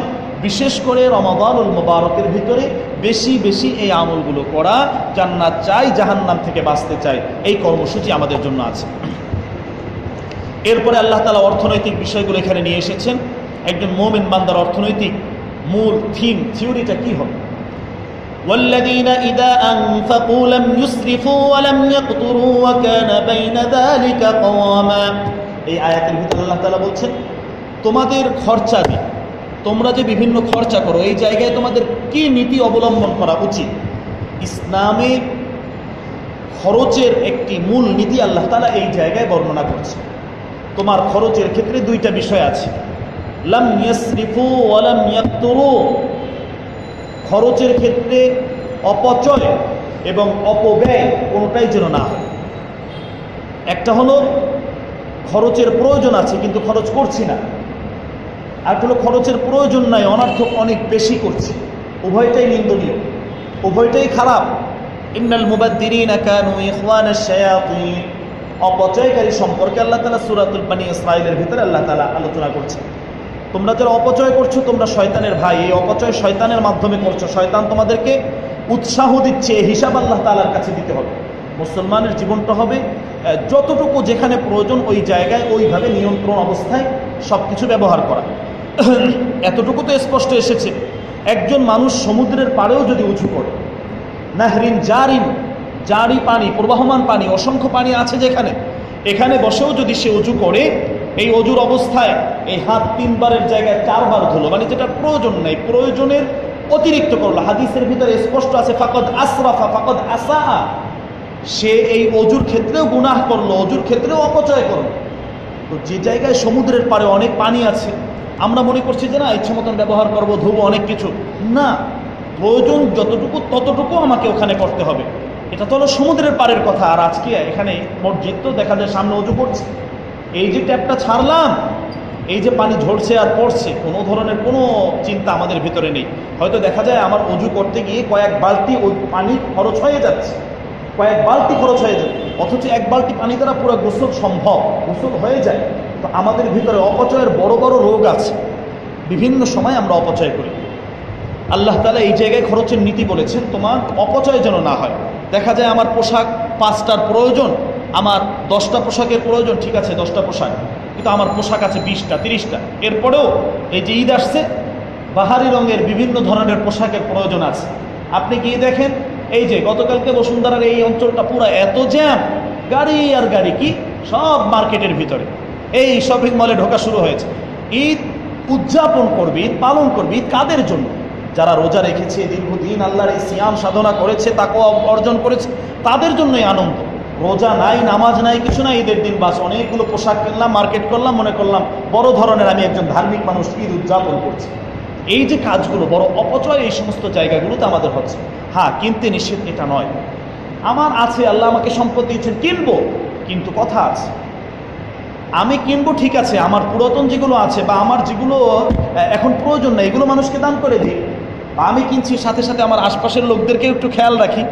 তো আমি নিজে শুধু আত্মকেন্দ্রিক, স্বার্থপরের মতন ইসলাম এই শিক্ষা দেয় না, সামগ্রিকভাবে সবাইকে নিয়ে চলার একটি নিয়ম, নীতি আল্লাহ তালা দিচ্ছেন। আবার এমন আছে, অনেক লোক এমন আছে, শুধু জামা আমালা আদাদা শুধু গণে স্টেটমেন্ট আনে বারবার, যে এত আসছে, আমার এত টাকা আছে, এত টাকা আছে। কিন্তু স্ত্রী, সন্তান, আত্মীয়, স্বজন, প্রতিবেশী, এদের কারও জন্য পাঁচটা টাকা কোনো দিন দেয়। পাঁচটা টাকা কোনো দিন দেয় না। গাড়িওয়ালা, বাড়িওয়ালা অনেক টাকা, আরে এটা করেছি এটা করেছি এটা করেছি। বহু বক্তব্য শুনতে শুনতে কান ঝালাপালা হয়ে যায়, কিন্তু কোনোদিন দেখলাম না পাঁচ টাকা কাউকে দিল। বিষয়গুলো হলো আল্লাহ তালা দোনোটা নিষেধ করছেন। যে একেবারে কৃপণতা। না, তোমার যতটুকু সামর্থ্য আছে, সামর্থ্য অনুযায়ী তুমি তোমার অবস্থান থেকে সামাজিক কিছু কাজ করার চিন্তা ভাবনা করো। চেষ্টা করো, তোমার স্ত্রী সন্তান তাদেরকে দাও, তোমার প্রতিবেশী যারা আছে তাদেরকে দাও, আত্মীয় স্বজন আছে তাদেরকে নিয়ে সুন্দরভাবে একটু আরামের সাথে ব্যবস্থা করো। শুধু মৌখিকভাবে অনেক বক্তৃতা, বড় বড় একেবারে কথা, বিশাল বিশাল কথা। কিন্তু আসলে দেখা যায় যে বাস্তব আমলে বা আত্মীয় স্বজন থেকে খোঁজ নিয়ে, কারণ দেখা যায় এর আত্মীয় স্বজন পাশে আছে, তারা এসে বলে যে, এই অবস্থা।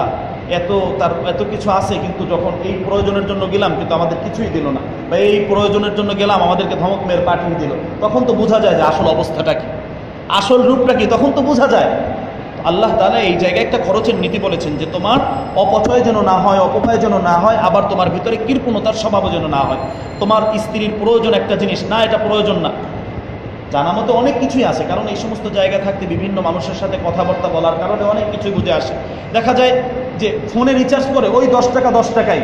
এর বেশি এক টাকাও স্বামী স্ত্রীর ফোনে দিচ্ছে না বা প্রয়োজন ঘরের ভিতরে রাখছে না। একটা জিনিস প্রয়োজন, একেবারে দেখা যায় বিছানার চাদরটা ছিঁড়ে গেছে বা এই জাতীয় একটা জরুরি প্রয়োজন, কোনোভাবেই এটা কিনাতে পারল না, অথচ টাকা পয়সার অভাব নাই। আরে না, হলেই তো হলো। এই যে একটা জিনিস আমার আমার পারিবারিক ক্ষেত্রে প্রয়োজন, এটা যেটা প্রয়োজন, এটা অবশ্যই আমাকে করতে হবে। এই জায়গায় কষ্ট নয়। আবার যেটা আমার প্রয়োজন নাই, অনেক বেশি পরিমাণে শুধু বারবার ডজনে ডজনে কিনা, এটাও অপচয়। ইসলাম বলছে, যতটুকু তোমার প্রয়োজন প্রয়োজন অনুপাতে তুমি খরচ করো। এটা হলো একজন আল্লাহর প্রিয় বান্দা, যারা হবেন তাদের একটা বড় বৈশিষ্ট্য। লাম ইউসরিফু ওয়ালাম ইয়াক্তরু ওয়াকানা বাইনা দালিকা কওয়ামা। এর মধ্যবর্তী একটা অবস্থায় তারা তাদের পথ চলে, তারা তাদের জীবনটা নিয়ন্ত্রণ করে। এরপর আল্লাহ তাআলা বলছেন কি, ওয়াল্লাযীনা লা ইয়াদউনা মা'আল্লাহি ইলাহান আখার। আল্লাহ ব্যতীত অন্য কারও এবাদত করে না। বিভিন্ন জায়গায় অনেককে স্বীকৃতি দেওয়া। আমাদের মুসলিম আজকে কত বড় আজকে আমরা অপদার্থ হয়ে যাচ্ছি। অপদার্থ এই অর্থে যে আমরা মসজিদেও আসছি, মন্দিরেও যাচ্ছি। আল্লাহকে খুশি করছি, আবার শয়তানকেও নারাজ করতে আমরা রাজি না। সব জায়গায় আমাদের। এখানে একজন মুসলিম, সে কখনো নিরপেক্ষ নয়। সে সত্যের পক্ষে, আল্লাহর পক্ষে থাকবে। যে দোনোদিক সমান সমান, একদম এভাবে হবে না। তিনি সর্বদা সদা সত্যের পক্ষে থাকবেন, আল্লাহর পক্ষে থাকবে, রসুলের পক্ষে থাকবে, এটাই হলো মুসলমানের মূল বক্তব্য। তারা কি বলবে? আল্লাহি ব্যতীত অন্য কারও ধরনের, কারও সাথে কোনো ধরনের ইবাদত সংশ্লিষ্ট যে বিষয়গুলো আছে, এগুলো করবে না। বিল হত্যার যে গুনাহগুলো আছে মানব হত্যার এই গুণার সাথে সম্পৃক্ত না। আজকে আমরা যারা রাজনীতি করছি পলিটিক্স করছি, আজকে বিভিন্নভাবে বড় বড় ব্যবসায়ী যারা হচ্ছে, আমার প্রতিপক্ষ কে আছে তাকে ঘায়েল করার জন্য বহু চেষ্টা করি, চূড়ান্ত অস্ত্র হলো তাকে ফাইনাল করে দাও। আমি দেখছি যে আমার এই এলাকায় বড় হতে হবে, কিন্তু আমার জন্য বাধাকে আমি হিসাব নিকাশ মিলিয়ে দিলাম যে ও থাকলে আমি উঠতে পারব না। যে কোনোভাবে ওরে সাইজ করো আগে। আমি আবার পুরা ফার্স্ট কাতারের মুসল্লি, একদম খা, পাক্কা মুসল্লি, হজ আমরা সবই করছি। আল্লাহ তালা বলছেন, একজন আমার খাঁটি বান্দা যে হবে, তার পরিচয় হলো, এই জাতীয় হত্যামূলক অপরাধ, এই ষড়যন্ত্রের ভিতরে কখনো তারা জড়িত না। রাজনীতিবিদ যারা বিভিন্নভাবে মানুষকে ঠেকানোর জন্য, মানুষকে তার নিজের ক্ষমতাটাকে স্থায়ী করার জন্য এই কাজগুলো আমরা অনেক সময় করছি। আর একটা কাজ করে, কখনো তারা জেনা এবং জেনা সংশ্লিষ্ট যে কাজগুলো আছে, এই জাতীয় অপরাধের ভিতরে কখনো কোনো মমিন আল্লাহর প্রিয় বান্দা তারা কখনো জড়াবে না। আল্লাহ তালা স্পষ্ট বলছেন, ওয়ালা তাকরাবু জিনা জিনার আশপাশেও তোমরা যাবে না। এই জাতীয় বেশ কিছু কথা আল্লাহ তালা এখানে বলছেন। অনেকগুলো গুণ সম্পর্কে আল্লাহ তালা আলোচনা করছেন। এরপরে আল্লাহ তালা আরও কি বললেন? কখনো মিথ্যা সাক্ষী তারা দিবে না। আজকে আইন আদালতগুলো আমরা দেখি আর আল্লাহর প্রিয় বান্দাদের লিস্টিটা আমরা দেখি। আইন, আদালত, হামলা, মামলা যা আছে, কয়টা সত্যের চর্চা ওই জায়গায় হয়। আপনি আইন পেশার সাথে যারা জড়িত, ইল্লা মাশা আল্লাহ অধিকাংশই মিথ্যা যদি বলতে না পারেন, আপনার চাপাবাজি যদি না থাকে, এই পেশায় আপনি থাকতে পারবেন না। এটাই চূড়ান্ত সত্য কথা। আল্লাহ তালা কি বললেন? তুমি প্রিয় পাত্র হতে চাও, আল্লাহর কাছের বান্দা হতে চাও। কখনো মিথ্যা সাক্ষী সে দেবে না। আপনি দাঁড়িয়ে যে আমার মোয়াক্কেল মাই লর্ড এই এই, এই, এই হয়েছে শেষ কি মিথ্যা সুন্দরভাবে সাজিয়ে গুছিয়ে বাস একটা জিনিস করলাম আজকে কি হচ্ছে জমিনের ভিতরে কি হচ্ছে আল্লাহর এই জমিন আল্লাহ কি করার জন্য এই জমিনকে আল্লাহ তালা দিয়েছেন এরপরে আরো কি আছে والذين إذا ذكروا بآيات ربهم لم يخروا عليها سما وعميانا والذين يقولون ربنا هب لنا من أزواجنا وذرياتنا قرة أعين এই আয়াত আল্লাহ তালা কি বলছেন? যারা আমার প্রিয় পাত্র হবে, তাদের বড় আরেকটি বৈশিষ্ট্য হলো, তার স্ত্রী এবং সন্তান এদের সংশোধনের জন্য, এদেরকে ঠিক রাখার জন্য আল্লাহর কাছে বেশি বেশি দোয়া করবে। অনেক সময় স্ত্রী কথা শোনে না, বা যারা এখনও বিবাহ করিনি ভালো একটা স্ত্রী খুঁজি, এই দোয়াটি মুখস্থ করে নেব। বেশি বেশি দোয়াটি পাঠ করব। স্ত্রী কথা শুনছে না, সন্তান অবদ্ধ হচ্ছে, আল্লাহ তালা এই দোয়ার ভিতরে শিক্ষা দিচ্ছেন, আল্লাহ হাবলানা বিন আজওয়াজিনা, ভালো একটা স্ত্রী আমাকে দান করো। অদুরিয়াতিনা আমার পরিবার, পরিজন, সন্তান, সন্ততি ভালো, এমন ভালো যেন হয়, সকলেই যেন বলে, আরে, অমুকের ছেলেটা না কত ভালো ওর মতন হতে পারিস না, ও তো তোমার সমাজে বাস করে, তোর ওই বন্ধুটা অমুক আবদুল্লাহ সাহেবের ছেলে, দেখ না কত সুন্দর লেখাপড়া, মসজিদে আগে আগে যাচ্ছে, কত ভদ্র একে ফলো করতে পারিস না? তোরা কি আজে বাজে কাজ করিস? তোদের এই সমাজে বেঁচে থাকাই উচিত না। আমাদের সন্তানদেরকে আমরা অন্য আর একটা ভালো সন্তানের দিকে সম্পৃক্ত করে বলি যে অমুকের মতন হও। এই যে অমুকের মতো আর একজনের চোখের শীতলতা, আল্লাহ তালা এই দোয়াটি এখানে শিক্ষা দিচ্ছেন। তোমার সন্তান যেন এমন হয়, কুর্রত আয়ন, অন্য সকলের চোখের মনি হয়, চোখের শীতলতা হয়, মানুষের নিরাপদ, নিরাপত্তার জন্য তোমার সন্তান যেন কাজ করে। এমন একটি দোয়া আল্লাহ তালা এই সুরার ভিতরে আমাদেরকে শিক্ষা দিচ্ছেন। আমাদের সন্তানগুলো যাতে এমন হয়। আল্লাহ তালা এইভাবে সুরা ফরকানের শেষ দিকে এসে তার প্রিয় পাত্র যারা হবেন, তাদের সম্পর্কে মৌলিক অনেকগুলো আলোচনা আল্লাহ তালা এইভাবে করছেন। এরপরে গুরুত্বপূর্ণ আরেকটি সুরা আমাদের সামনে আছে, সুরাত আরা এই সুরাটি মক্কার ভিতরে অবতীর্ণ হয়েছে, সুরার ভিতরে এগারোটি রুকু আছে। আল্লাহ সুবহানাহু ওয়া তাআলা এই সূরার ভিতরে বেশ যে জিনিসগুলো আলোচনা করছেন, এর ভিতরে শায়ের শুআরা, এটা হলো কবি কবি এবং কবিতা নিয়ে যারা চলে, এই চর্চার ভিতরে, সাহিত্য চর্চার ভিতরে আছে। এদের ভিতরে একটু শৃঙ্খলা বেশি থাকে। এদের ভিতরে আল্লাহর অবাধ্যতা বেশি আসে। ঢাকা ইউনিভার্সিটির ভিতরে আপনি সবার কথা বলছি না, অধিকাংশের কথা বলছি। এই জায়গায় কিছু শিক্ষা দীক্ষা অর্জন করে এমন হয় শেষ পর্যন্ত, আর আল্লাহকে চিনে না। নাস্তিকতার বিষয় তাদের ভিতরে চলে আসে, সবাই না।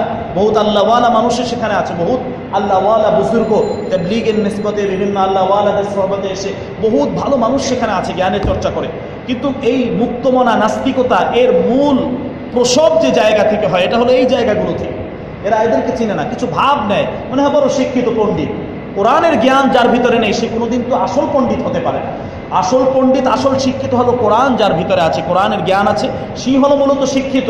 আপনি মানুন আর না মানুন, আল্লাহর কথা হলো এটাই। আল্লাহ তালা এভাবেই মানুষকে বলেছেন যে তুমি যদি জ্ঞানী হতে চাও, শিক্ষিত হতে চাও, তুমি যদি পূর্ণ একজন জ্ঞানবান লোক হতে চাও, কোরআনের জ্ঞান তুমি অর্জন করো। কোরআনের জ্ঞানের মাধ্যমে তুমি শিক্ষিত হও। আল্লাহ তালা এই সুরার ভিতরে এই যে সমস্ত পদভ্রষ্ট কবি, সাহিত্যিক আছে, এদের সমালোচনা আল্লাহ তালা করেছেন। অশ্ব আরা ইয়ত্তাবি আহমুল গাবুন। এরা তো অধিকাংশই পথভ্রষ্ট হয়ে যায়। এরা ঠিক থাকে না, নিয়ন্ত্রণে রাখতে পারে না। অথচ এর বিপরীত একজন ভালো ডাক্তার, সে যখন গবেষণা করতে করতে এক পর্যায়ে সে আল্লাহর দিকে ফিরে আসে। সে যখন তার ডাক্তারি পেশা নিয়ে গবেষণা করে, মানুষের ভেতর জগৎ নিয়ে যখন দেখা যায় ব্রেন, ব্রেনের উপরে সে যখন দেখে যে আল্লাহ একবার এই ছোট্ট একটা মাথা, কত হাজার হাজার নার্ভ আল্লাহ তালা এখানে রেখেছেন, এত রক কোনটার মাধ্যমে কি কাজ করছেন কত চমৎকার ব্যবস্থাপনা আল্লাহ তালা এখানে করেছেন। মানুষ এই যে হজম শক্তি, আমরা কি খাচ্ছি আর কি সুন্দরভাবে আমাদের দেহের পুষ্টি, আল্লাহ তালা কীভাবে এগুলো ভাগ করে নিয়ে যাচ্ছেন? রক্ত হচ্ছে, পেশাব, এগুলো সব মলমূত্র একদিকে চলে যাচ্ছে, বীর্য একদিকে চলে যাচ্ছে, শক্তির জন্য মানুষের যে জিনিসগুলোর প্রয়োজন এগুলো একদিকে চলে যাচ্ছে। কি চমৎকার মেশিন আল্লাহ তালা সৃষ্টি করেছেন। এই পেশা এবং বিদ্যার সাথে যারা জড়িত, এক পর্যায়ে তারা আল্লাহকে মানে তারা ধার্মিক হয়ে যায়, ধর্মচর্চা তারা শুরু করে। যারা জ্ঞান বিজ্ঞান নিয়ে এভাবে পর্যালোচনা শুরু করে বিভিন্ন জগৎ নিয়ে যারা বিভিন্ন ধরনের ধারণা নিতে শুরু করে, এক পর্যায়ে দেখা যায় তারা ইসলামের ভুল ধরতে এসে তারা বিভিন্ন ধরনের ইসলাম এটা ভুল আছে ভুল আছে। শেষ পর্যন্ত এই ইসলামের আয়নায়, কোরআনের আয়নায় তার নিজের জীবনের ভুলগুলোই তাদের ধরা পড়ে। বহু পণ্ডিত এমন আছে, তাদের জীবন পরিবর্তন হয়েছে। তারা ভুল ধরতে এসে নিজেদের ভুলগুলো ধরা খেয়েছে। ডক্টর মরিস বুকাইলে, তা সে কোরআনের রিচার্জ করতে এসেছে, কোরআনের ভুল ধরবে। কোরআনের ভিতরে বিজ্ঞানের কি সাংঘর্ষিকতা আছে, এগুলোর বিভিন্ন ভুল ধরতে এসে সে নিজেই শেষ পর্যন্ত মুসলমান হয়ে এই ইসলাম সম্পর্কে বিজ্ঞান নিয়ে, কোরআন বিজ্ঞান, বাইবেল নিয়ে এত চমৎকার চমৎকার লেখনী তার আছে, বহু তথ্য আমরা এর মাধ্যমে পাচ্ছি। তো এই কোরআনুল কারিম নিয়ে রিচার্জ করে এর মাধ্যমে জ্ঞানী হতে হয়। কিন্তু এমন কিছু মূর্খ পণ্ডিত আছে, এই মূর্খ পণ্ডিত, শিক্ষিত শয়তান, এগুলো মনে করে যে দেশের সেরা পণ্ডিত এরা। এগুলো মনে করে দেশের সেরা পণ্ডিতেরা এই যে কয়দিন আগে যে, এই যে সুফিয়া কামাল, কত বড় অপদার্থ। টকশোতে সে যে কথাগুলো বলছে, এগুলো স্পষ্ট। মুসলমানদের বুঝতে হবে যে আমাদেরকে কোন দিকে নিয়ে যাচ্ছে। এদেশে যদি মূর্তি না থাকে, তাহলে মসজিদও থাকতে পারবে না। এ নাকি আবার শিক্ষিত?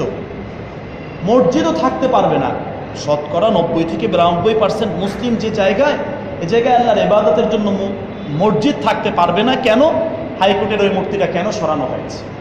এই যুক্তিতে এ আবার মুসলমান। এই জাতীয় বহু আগ্রাসনের শিকার কিন্তু আজকে আমরা। জাতিগতভাবে বহু অধপতনের দিকে আমরা চলে যাচ্ছি। এই কিছু শিক্ষিত পণ্ডিত আছে মানুষকে মিডিয়ার মাধ্যমে বড় ধোকা দিচ্ছে, বড় ধোকা দিচ্ছে মানুষকে। তো এই কিছু কবি সাহিত্যিক সম্পর্কে আল্লাহ তালা এখানে আলোচনা করে এদের সমালোচনা করছেন যে আসলে গোমরা হয়ে যায়। এরা নিজেদেরকে ঠিক রাখতে পারে না। হ্যাঁ আবার সবাই যেমন নয়, বিষয় এমন নয়। কবি যে সবাই যে একেবারেই খারাপ এমনটি নয়, বরং আল্লাহ রসুল যখন বসতেন, বিশ্বনবী সাল্লাহ ইসলামের পাশে হাসান ইবনে সাবেত আল্লাহ রসুলের কবি, শিখে রাখুন হাসান ইবনে সাবেত রাদিয়াল্লাহু আনহু বিশ্বনবী আলাইহি সাল্লামের একজন প্রিয় কবি, যখন আরবের ওই সভ্যতা, ওই মানুষগুলো আল্লাহ রসুলকে বিভিন্নভাবে, কবিতার ভাষায় বিভিন্নভাবে কটাক্ষ করত, বিভিন্নভাবে আল্লাহ রসুলকে আক্রমণ করত, হামলা করত। রসুল হাসানকে দেখতেন, হাসান, এদিক আসো, মেম্বারে বসো, মেম্বারে বসে তাদের উত্তর দাও। হাসান ইবনে সাবেতকে বসিয়ে দেওয়া হতো। ওরা যে কবিতাগুলো বলতো, ঠিক এর বিপরীত একদম আল্লাহ রসুলের প্রশংসামূলক কবিতাগুলো টপ টপ করে তিনি বলে দিতেন। তিনি হলেন হাসান ইবনে সাবেত রাদিয়াল্লাহু আনহু বহু কবিতা আছে। ওয়া কালাম তারাকাতু আইনি, ওয়া কালাম তালিদিন নিসা, খুলিকতা মুবাররাআম মিন কুল্লি আইবিন কান্নাকা খুলিকতা কামা তাশা। যখন আল্লাহ রাসূলকে বিভিন্ন ভাবে খারাপই অনেক কিছু অনেক কিছু বলতেছিলেন, হাসান ইবনে সাবিত মিম্বারে বসলেন। আল্লাহ তাআলার ওহী আল্লাহ রাসূল যখন বসতে বলছেন, তার জবান থেকে বের হচ্ছে।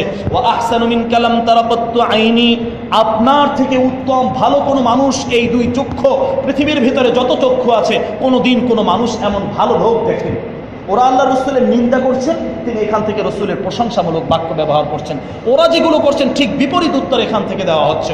ও কালাম তালিদিন নিসা। আর এই পৃথিবীতে বহু মা, বহু সন্তান জন্মগ্রহণ করেছে, জন্ম দিয়েছে। শুনে রাখো পৃথিবীবাসী, এই পৃথিবীতে এমন কোনো মা নেই যে মা আল্লাহ রসুল সাল্লাহ আলহি ওয়াসাল্লাম থেকে উত্তম কোনো সন্তান এই পৃথিবীর বুকে জন্ম দিয়েছে। ও আহসানুমিন কালাম তালিদিন নিসা। খলিকতা মুবাররা কুল্লি আইবিন শত, সমস্ত ত্রুটি থেকে মুক্ত হয়ে তুমি নিজে কেমন যেন সৃষ্টি হয়েছ। আল্লাহ রসুলের সৃষ্টির ভিতরে কোনো ধরনের কোনো ত্রুটি ছিল না। আজকে আমরা কেউ সাদা, কেউ কালো, কেউ খাটো, কেউ লম্বা, কারও চুল নেই, কারও এটা নেই, কারও বিভিন্নভাবে অপূর্ণাঙ্গ, বিভিন্নভাবে, অনেকভাবে সন্তান জন্মগ্রহণ করে। কিন্তু সবাই চায় মনে মনে একটা কল্পনা আঁকে যে আমার সন্তানটা এমন হবে। কত বড় বাজে আমাদের দেশে কিছু জিনিস আছে। কথায় কথা আসে। যখন অনেক জায়গায় এই বিষয়টা আমি দেখেছি যে মা গর্ভধারণ করেছে, মোবাইলের ভিতরে অনেক ছবি রাখা হয়েছে। সুন্দর সুন্দর বাচ্চাদের ছবি। ঘরের ভিতরে পুরো ছবিটা নিয়ে রাখা হয়েছে। কি ব্যাপার? এই ছবিগুলো দেখলে আমার সন্তান সুন্দর হবে। সন্তান যাতে সুন্দর হয়, এজন্য এই ছবিগুলো রাখা হয়েছে। সব ছেলের ছবি। কি ব্যাপার এগুলো কেন? এই ছেলের ছবি দেখলে আল্লাহ আমাকে ছেলে দেবে। এইভাবে মানুষের একটা বিশ্বাস। তো সবাই চায়, এগুলো আসলে ভ্রান্ত, এর সাথে আসলে আদৌ ইসলামের কোনো সম্পৃক্ততা নেই। এটা হলো স্পষ্ট চূড়ান্ত কথা, আকিদার কথা। আমি এক হাজার ছবি আমার মোবাইলের ভিতরে রাখতে পারি, কিন্তু এর মাধ্যমে আমার যে মেয়ে হবে, আমার মেয়েটা যে একেবারে সুন্দরী রূপসী কন্যা হবে, বিষয়টি আসলে এরকম না। আল্লাহ যেটা ভালো মনে করেন, তাই হবে। তাই হবে। হ্যাঁ তবে কিছু খাদ্য খাবারের ব্যাপার আছে। গর্ভকালীন অবস্থায় এই জাতীয় খাদ্য খাবার বা এই জাতীয় ফর্মুলাগুলো রক্ষা করলে হ্যাঁ এর একটা প্রভাব মানুষের ভিতরে থাকে এবং এই প্রভাবের কারণে কিছুটা পরিবর্তন হয়, এটা আছে। কিন্তু চূড়ান্তভাবে এটাই যে বিধান বিষয়টি এমন নয়। তো এই জায়গায় কি হচ্ছে? আল্লাহ রসুল সাল্লাহ সাল্লাম সম্পর্কে বলা হচ্ছে, খলিক্তা মুবার আমিন কুল্লি আইবিন। সমস্ত ধরনের ত্রুটি মুক্ত অবস্থায় তুমি জন্মগ্রহণ করেছ। কান্নাকা খলিক্তা কামাতাসা কেমন যেন শুল- শিল্পের তুলেতে যায় না আঁকা তোমার ছবি। কোনো শিল্পী তোমার ছবি একে শেষ করতে পারবে না। এত চমৎকার, এর চেয়েও মহাসুন্দর।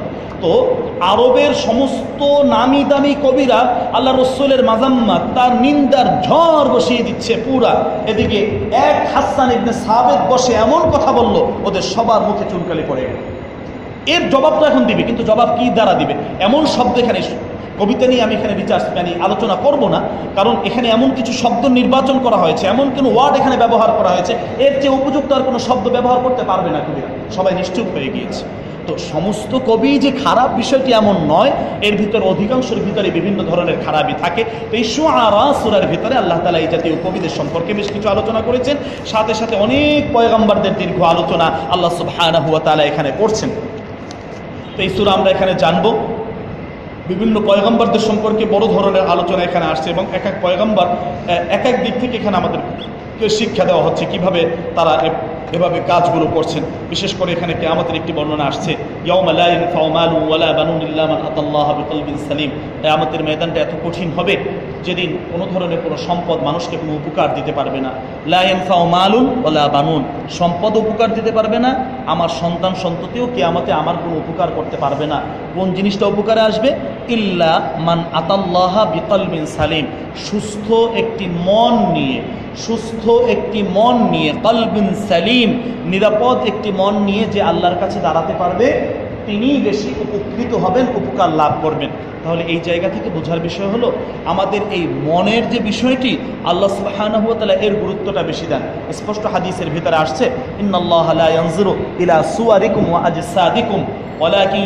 ইলা ওয়া আল্লাহ তাআলা আমাদের এই বাহ্যিক দেহের দিকে কখনো তাকাবেন না। যে কয় ফিট কত ইঞ্চি আছে? আমরা কি করি? শুধু মাপি কীভাবে উঁচু হব বিভিন্নভাবে। এই ফিট বাড়াই শুধু। কিন্তু আল্লাহ একটাও দেখবেন না এগুলো। বাদ দাও ওগুলো এগুলো কোনো আলোচনার বিষয় না।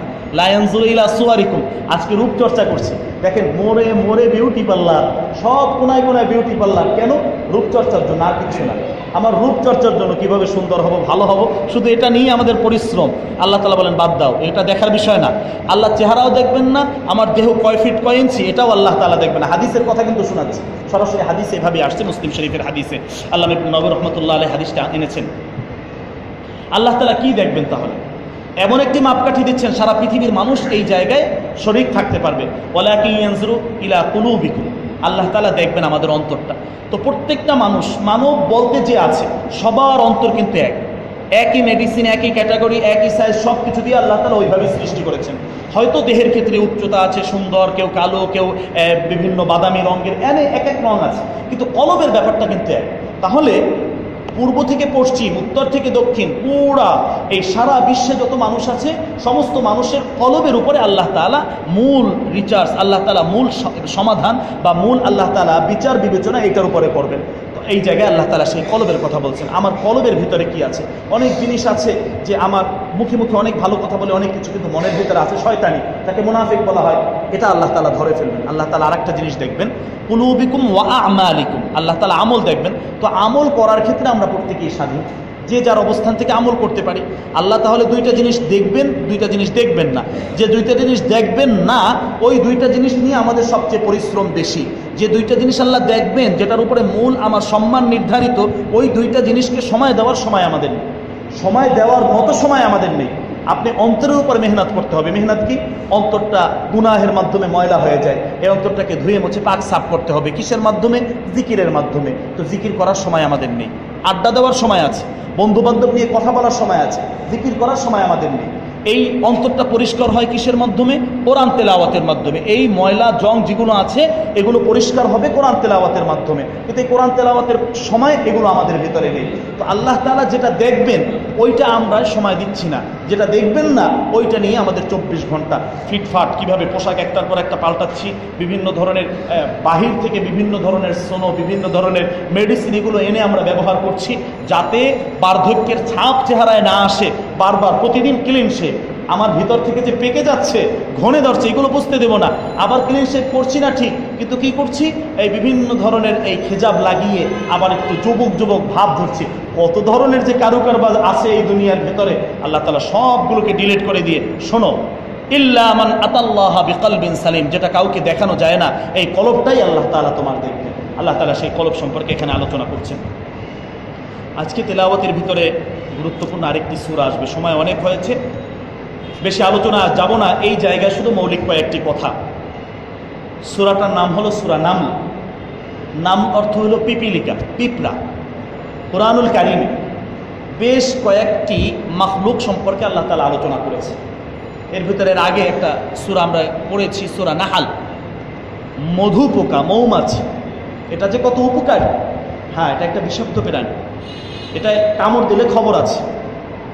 কিন্তু এর ভিতর থেকে আল্লাহ তালা যে মধু আমাদের জন্য বের করছেন, এটা মানুষের জন্য অনেক উপকার। পিঁপড়া এটা ক্ষতিকারক কোনো প্রাণী নয়, অনেক উপকার আছে। পিঁপড়ার জীবন নিয়ে একটু গবেষণা, যদি আমরা করি, অনেক কিছু শিখতে পারব।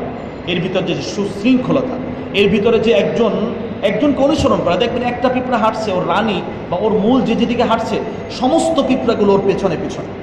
তো একজন মানুষের ভিতরে সুশৃঙ্খল জীবনযাপন কীভাবে আসবে? একজন আমিরকে কীভাবে অনু অনুসরণ করবে। এর শিক্ষাটা আমরা একটা পিঁপড়া থেকেও নিতে পারি। সে তার স্বজাতি ভাইয়ের জন্য কি পরিমাণ তাদের ভিতরে থাকে? পিঁপড়া নিয়ে পিঁপড়ার জগৎ, এটা একটা বিশাল রহস্যময় জগৎ। আল্লাহ তালা যে এই নামটি এনেছেন, এই নামটির উপরে রিচার্জ করলে আপনার বহুদিন সময় লাগবে। ইউটিউবে বহু ভিডিও আছে এই পিঁপড়ার জীবন সম্পর্কে। এই পিঁপড়াগুলো নিয়ে অনেক আলোচনা সেখানে আছে। চমৎকার চমৎকার আলোচনা। আজকে আমরা বিভিন্ন আজে বাজে জিনিস দেখে আমাদের সময়গুলো নষ্ট করছি। এই জাতীয় ভালো ভালো কিছু যে কাজ হচ্ছে না, এরকম না, বহুত কাজ হচ্ছে। ভালো ভালো কিছু জিনিস আছে। ডিসকভারিতে এমন কিছু জিনিস আছে, যার মাধ্যমে আল্লাহ তালার সৃষ্টি জগৎ সম্পর্কে ধারণা পাওয়া যায়। আল্লাহর সৃষ্টি যে কত মহান, কত বড়, এ বিষয়গুলো আমরা এই জায়গা থেকে জানতে পারি। তথ্যগুলো এখান থেকে বোঝা যায়। এই পিঁপড়া নিয়ে আজকে চমৎকার কিছু আলোচনা আছে। পিঁপড়ার আলোচনাটা আল্লাহ তালা করছেন। কীভাবে সে অন্যকে উপকার করে। একটা আক্রান্ত হয়েছে। দেখবেন মুহূর্তের ভিতরে বহু পিঁপড়া এসে সেখানে জড়ো হয়ে গিয়েছে। আজকে আমাদের একজন মানুষ, একজন একটা বিপদে পড়েছে, আমরা দেখেও আস্তে সাইড থেকে চলে যাব। আমরা তাকে উপকার করব না, কিন্তু এরা হলো পর উপকারী একজনে বিপদে পড়ছে, দেখবেন যে সবাই মিলে তাকে সহযোগিতা করছে। আবার নিজেদের খাদ্য খোরাক জোগানোর জন্য দেখা যায় বৃষ্টির সিজনে বের হতে পারবে না। সে এমন পরিশ্রমী, মাথায় করে একটু একটু করতে করতে তার খোরাকগুলো সে নিয়ে আসছে। একটু চিন্তার বিষয় আছে। আপনি দেখবেন যে আশপাশে জীবিকরা ওর মাথায় সাদা সাদা কী জিনিস যেন, এগুলো নিয়ে সব ওর ঘরের ভিতরে জমা করছে। কেন? সামনে যখন বৃষ্টি হবে তখন বের হতে পারবে না, কষ্ট হবে। এই জ্ঞানটাও আল্লাহ তালা তার ভিতরে দিয়েছেন। চমৎকার চমৎকার অনেকগুলো রহস্য এই পিঁপড়া সংশ্লিষ্ট আছে। এই পিঁপড়া নিয়ে বেশ কিছু গুরুত্বপূর্ণ আলোচনা আজকে এখানে আমরা শুনব। এই সুরাটি মাক্কি সুরা মক্কা নগরীতে থাকা অবস্থায় এই সুরাটি নাজিল হয়েছে। এই সুরার ভেতরে আটটি রুকু আছে। এই সুরার ভিতরে আল্লাহ সুবহানাহু ওয়া তাআলা আহ, যে বিষয়গুলো আলোচনা করেছেন এর ভেতরে প্রথমেই কোরআন সম্পর্কে আল্লাহ তাআলা বিস্তারিত আলোচনা করেছেন। এরপরে চমৎকারভাবে কোরআনুল কারিমে মজাদার যে সমস্ত ঘটনাগুলো আছে এরকম একটা ঘটনা এখানে আছে। আমরা জানি। নবী ইউনাস সুলাইমান আলহিসাল্লামকে আল্লাহ তালা অনেক কিছু দিয়েছিলেন। সুলাইমান আলহিসাল্লামকে ক্ষমতা দিয়েছেন, রাজত্ব দিয়েছেন, অনেক কিছু দিয়েছেন। সুলাইমান আলহিসাল্লামের জীবনের বিশেষ একটা অংশ এই সুরার সাথে সম্পৃক্ত। রানী বিলকিসের ঘটনাও কিন্তু আমরা জানি। খুব মজাদার ঘটনা, বিভিন্ন বক্তা ওয়াইস অনেক আলোচনা করছেন। বিলকিস তার সিংহাসন কেমন ছিল, সে কোথায় ছিল, তার রাজত্বটা কত বিশাল ছিল। এই যে রানী বিলকিস সম্পর্কে যে আলোচনাগুলো আজকে এই সুরার ভিতরে আমরা জানতে পারব। এটা কোরআনের ঘটনা। সময় থাকলে অনেক ঘটনা এখানে ছিল। রানী সালাইমান আলী ইসলাম বনি ইসরায়েলের বড় একজন পায়গম্বার ছিলেন। নবীনা দাউদ আলী ইসলামের সন্তান। কিন্তু জ্ঞানে, বিজ্ঞানে আল্লাহ তালা এত পরিমাণ কামালিয়ত তার অর্জন তার দিয়েছেন, যোগ্যতা দিয়েছেন। পৃথিবীতে এমন যোগ্যতা অন্য কাউকে আল্লাহ তালা দেন বাদি। তিনি নিজে আল্লাহর কাছে দোয়া করেছেন, আল্লাহ এমন রাজত্ব আমাকে দিবে। আল্লাহর কাছে দোয়া করছেন। হে আল্লাহ, আমাকে এমন একটা রাজত্ব দাও লায়াম বাগিলি আহাদিম মিম বাদি। আমার পরে এরকম রাজত্ব যেন পৃথিবীতে আর কেউ না পায়। তার রাজত্বটা বাতাসের উপরে ছিল, পাখির উপরে ছিল, জিনের উপরে ছিল, সমস্ত মানুষের উপরে ছিল, পৃথিবীবাসীর উপরে তার রাজত্ব ছিল। আল্লাহ রসুল সাল্লাহ আলি সাল্লাম একদিন ইবলিসকে ধরে ফেলেছে। ঘটনা অনেকগুলো আছে। ইবলিসকে ধরে ফেলেছে। রসুলকে ধোকা দিতে আসছে। এই, তুই কি আমি কিন্তু তোরে চিনছি? এদিকে। বাঁধলেন এই পিলারের সাথে মসজিদের পিলারের সাথে বেঁধেছে। যে নাবি ইউনা সোলাইমান আলহিসাল্লাম যদি তখন ওই দোয়াটা না করতেন, আল্লাহ যদি কবুল না করতেন, তাহলে আমি তোকে এমনভাবে বেঁধে রাখতাম, সকালবেলা মদিনার বালকরা এসে তোকে ইট মারতো, তোকে চিনতো যে আসল শয়তানটা কেমন। আজকে আমরা শয়তান দেখব, শয়তান শয়তান নাম শুনি, কিন্তু শয়তানটা যে আসলে কেমন, এটা আমরা কেউ বলতে পারব না যে শয়তানটা আসলে তো আল্লাহ রসুল শয়তানকে এভাবে মূল আকৃতিতে ধরে ওকে বেঁধে ফেলেছিলেন। পরবর্তীতে আবার ছেড়ে দিয়েছেন। কেন? সোলাইমান আলহ ইসলামের এই দোয়ার কারণে। কারণ সোলাইমান আলাইসালাম আল্লাহকে এই দোয়া করেছিলেন যে, আমাকে এমন রাজত্ব দাও যে রাজত্ব পরবর্তী আর কেউ যেন না পায়। সোলাইমান আলাহ ইসলামের রাজত্ব সমস্ত জিন্নাত এবং শয়তানের উপরে ছিল। শয়তান এবং জিন্নাত তার তাবে ছিল। তো আল্লাহ রসুল সাল্লাহ সাল্লাম শেষ পর্যন্ত আগে আটকে ফেলেও আবার ছেড়ে দিয়েছেন। যেহেতু আমার ভাই সোলাইমান দোয়া করেছে আল্লাহর কাছে, সুতরাং তোকে এভাবে আমি আর বেঁধে রাখলাম না, ছেড়ে দিলাম। তো সুলাইমান আলহিসাল্লাম তার জীবনের বড় একটা অংশ, তার বিবাহ সাথী বা দাওয়াত, এই সুরার মূল থিমটা মানে মূল শিক্ষাটা আসলে কি? কীভাবে বিধর্মীদেরকে দাওয়াত দিতে হয়? দাওয়াত দেওয়ার কৌশলটা কি? এই সুরার ভিতরে মূলত আসলে এই শিক্ষাটি আমরা পাব। কারণ এই সুলাইমান আলহিসাল্লাম কমে সাবা, ইয়ামানের একটা বিশেষ জায়গা। এ সম্পর্কে আর একটা সুরাও সামনে আসবে, সুরাত সাবা। এই সাবা গোত্রের রানী মানে এই গোত্রের মূল দায়িত্বশীল ছিল এই বিলকিস। কিন্তু বিলকিস সম্পর্কে কোনো ধারণা সালাইমান আলি সাল্লামের তখনও ছিল না। এখান থেকে আরেকটি বিষয় বোঝা যায়, এত বিশাল ক্ষমতা তাকে দেওয়া হয়েছে, তারপরেও তাকে গায়েবের জ্ঞান দেওয়া হয়নি। অদৃশ্যের কোনো খবর তিনি জানতেন না। যদি জানতেন, তাহলে তিনিই তো বলে দিতেন যে অমুক জায়গায় আমাদের অমুক নগরীতে এরকম এক শাসনকর্তা আছে, যার নাম বিলকিস, তার বিশাল রাজত্ব আছে এরকম। না, এগুলো কোনো কিছু তিনি বলতে পারেননি। কীভাবে বলেছেন? এই, বলেছেন কীভাবে? এই বর্ণনা আল্লাহ তালা এখানে দিচ্ছেন। হুদ হুদ পাখির কথা আমরা জানি। হুদহুদ ছোট্ট একটা পাখি পৃথিবীতে খুব বিরল, খুব বেশি এটাকে দেখা যায় না, এখনও আছে। এটা অত্যন্ত মূল্যবান, দামি একটি পাখি। সোলাইমান আলাইসাল্লাম যখন যেতেন কোনো জায়গায়, তার সাথে আজকে আমাদের এমপি মন্ত্রীরা যখন যান, তার সাথে দেখা যায় ওই যে অনেকগুলো গাড়ি দেখি। একই কালারের, একই ধরনের অনেক গাড়ি যাতে বোঝা না যায় যে কোন জায়গায় আমাদের প্রাইম মিনিস্টার আছে, কোন গাড়ির ভিতরে আছে, এই জাতীয়। আবার সাথে সাথে দেখবেন সেখানে ডাক্তার আছে। সেখানে বিভিন্ন ধরনের অভিজ্ঞ ব্যক্তিকে সবসময় সাথে রাখেন। কোন সময় কোন বিপদ ঘটে যায়, মুহূর্তের ভিতরে তাৎক্ষণিক যাতে এর ট্যাকেল দেওয়া যায়, এটাকে প্রতিরোধ করা যায়। সাথে অ্যাম্বুলেন্স থাকে ফায়ার সার্ভিস থাকে সব কিছুই কিন্তু থাকে। সুলাইমান আলাইসাল্লাম যখন চলতেন, তিনিও তার সাথে সব কিছু রাখতেন। তো সুলাইমান আলাইসাল্লাম এমন একটা নগরীতে গিয়েছেন যে নগরীর ওই জায়গায় কোনো পানির ব্যবস্থা ছিল না, মরুভূমি অঞ্চল ছিল। এই হুদহুদ পাখির এমন একটি বৈশিষ্ট্য, আল্লাহ তারা এর ভিতরে এমন একটি বিষয় দিয়েছেন, সে বহু উপরে চলতো, উড়তো অনেক উপর দিয়ে। তো ওই উপর দিকে, দিক থেকে যখন দৃষ্টি দিত, জমিনের নিচে কোন স্তরে কি আছে, এই হুদহুদ পাখি সব বলে দিতে পারত। বিশেষ করে পানির স্তরটা কোন জায়গায় হুদহুদ পাখি ওখানে থেকে বলে দিতে পারতো, এই জায়গায় পানি আছে, এই জায়গায় পানি নাই, এই জায়গায় আপনার কাফেলা থামানো উচিত, এই জায়গায় থামাবেন না। দেখুন, আজকে আমাদের বড় বড় যারা আছেন, বিভিন্ন রাষ্ট্রপ্রধান, তারা এভাবে কেন করছে, কীভাবে করছে? নবীনা সুলাইমান আলাইসাল্লাম এভাবে তার নিরাপত্তার জন্য যে সব কিছু বিষয়, আজকেও আমরা আমাদের যারা ক্ষমতাশালী, তারা তাদের নিরাপত্তার জন্য এই জাতীয় বিষয়গুলো তারা রাখছেন। হঠাৎ করে ওই জায়গায় যখন সুলাইমান আলাইসাল্লাম চলছেন, উপরে তাকিয়ে দেখেন হুদহুদ পাখি নাই। কি ব্যাপার ঘটনা কি? আমার এখন পানির প্রয়োজন। কোন জায়গায় ওর থেকে আমার তথ্য নিতে হবে? ও গেল কোথায়?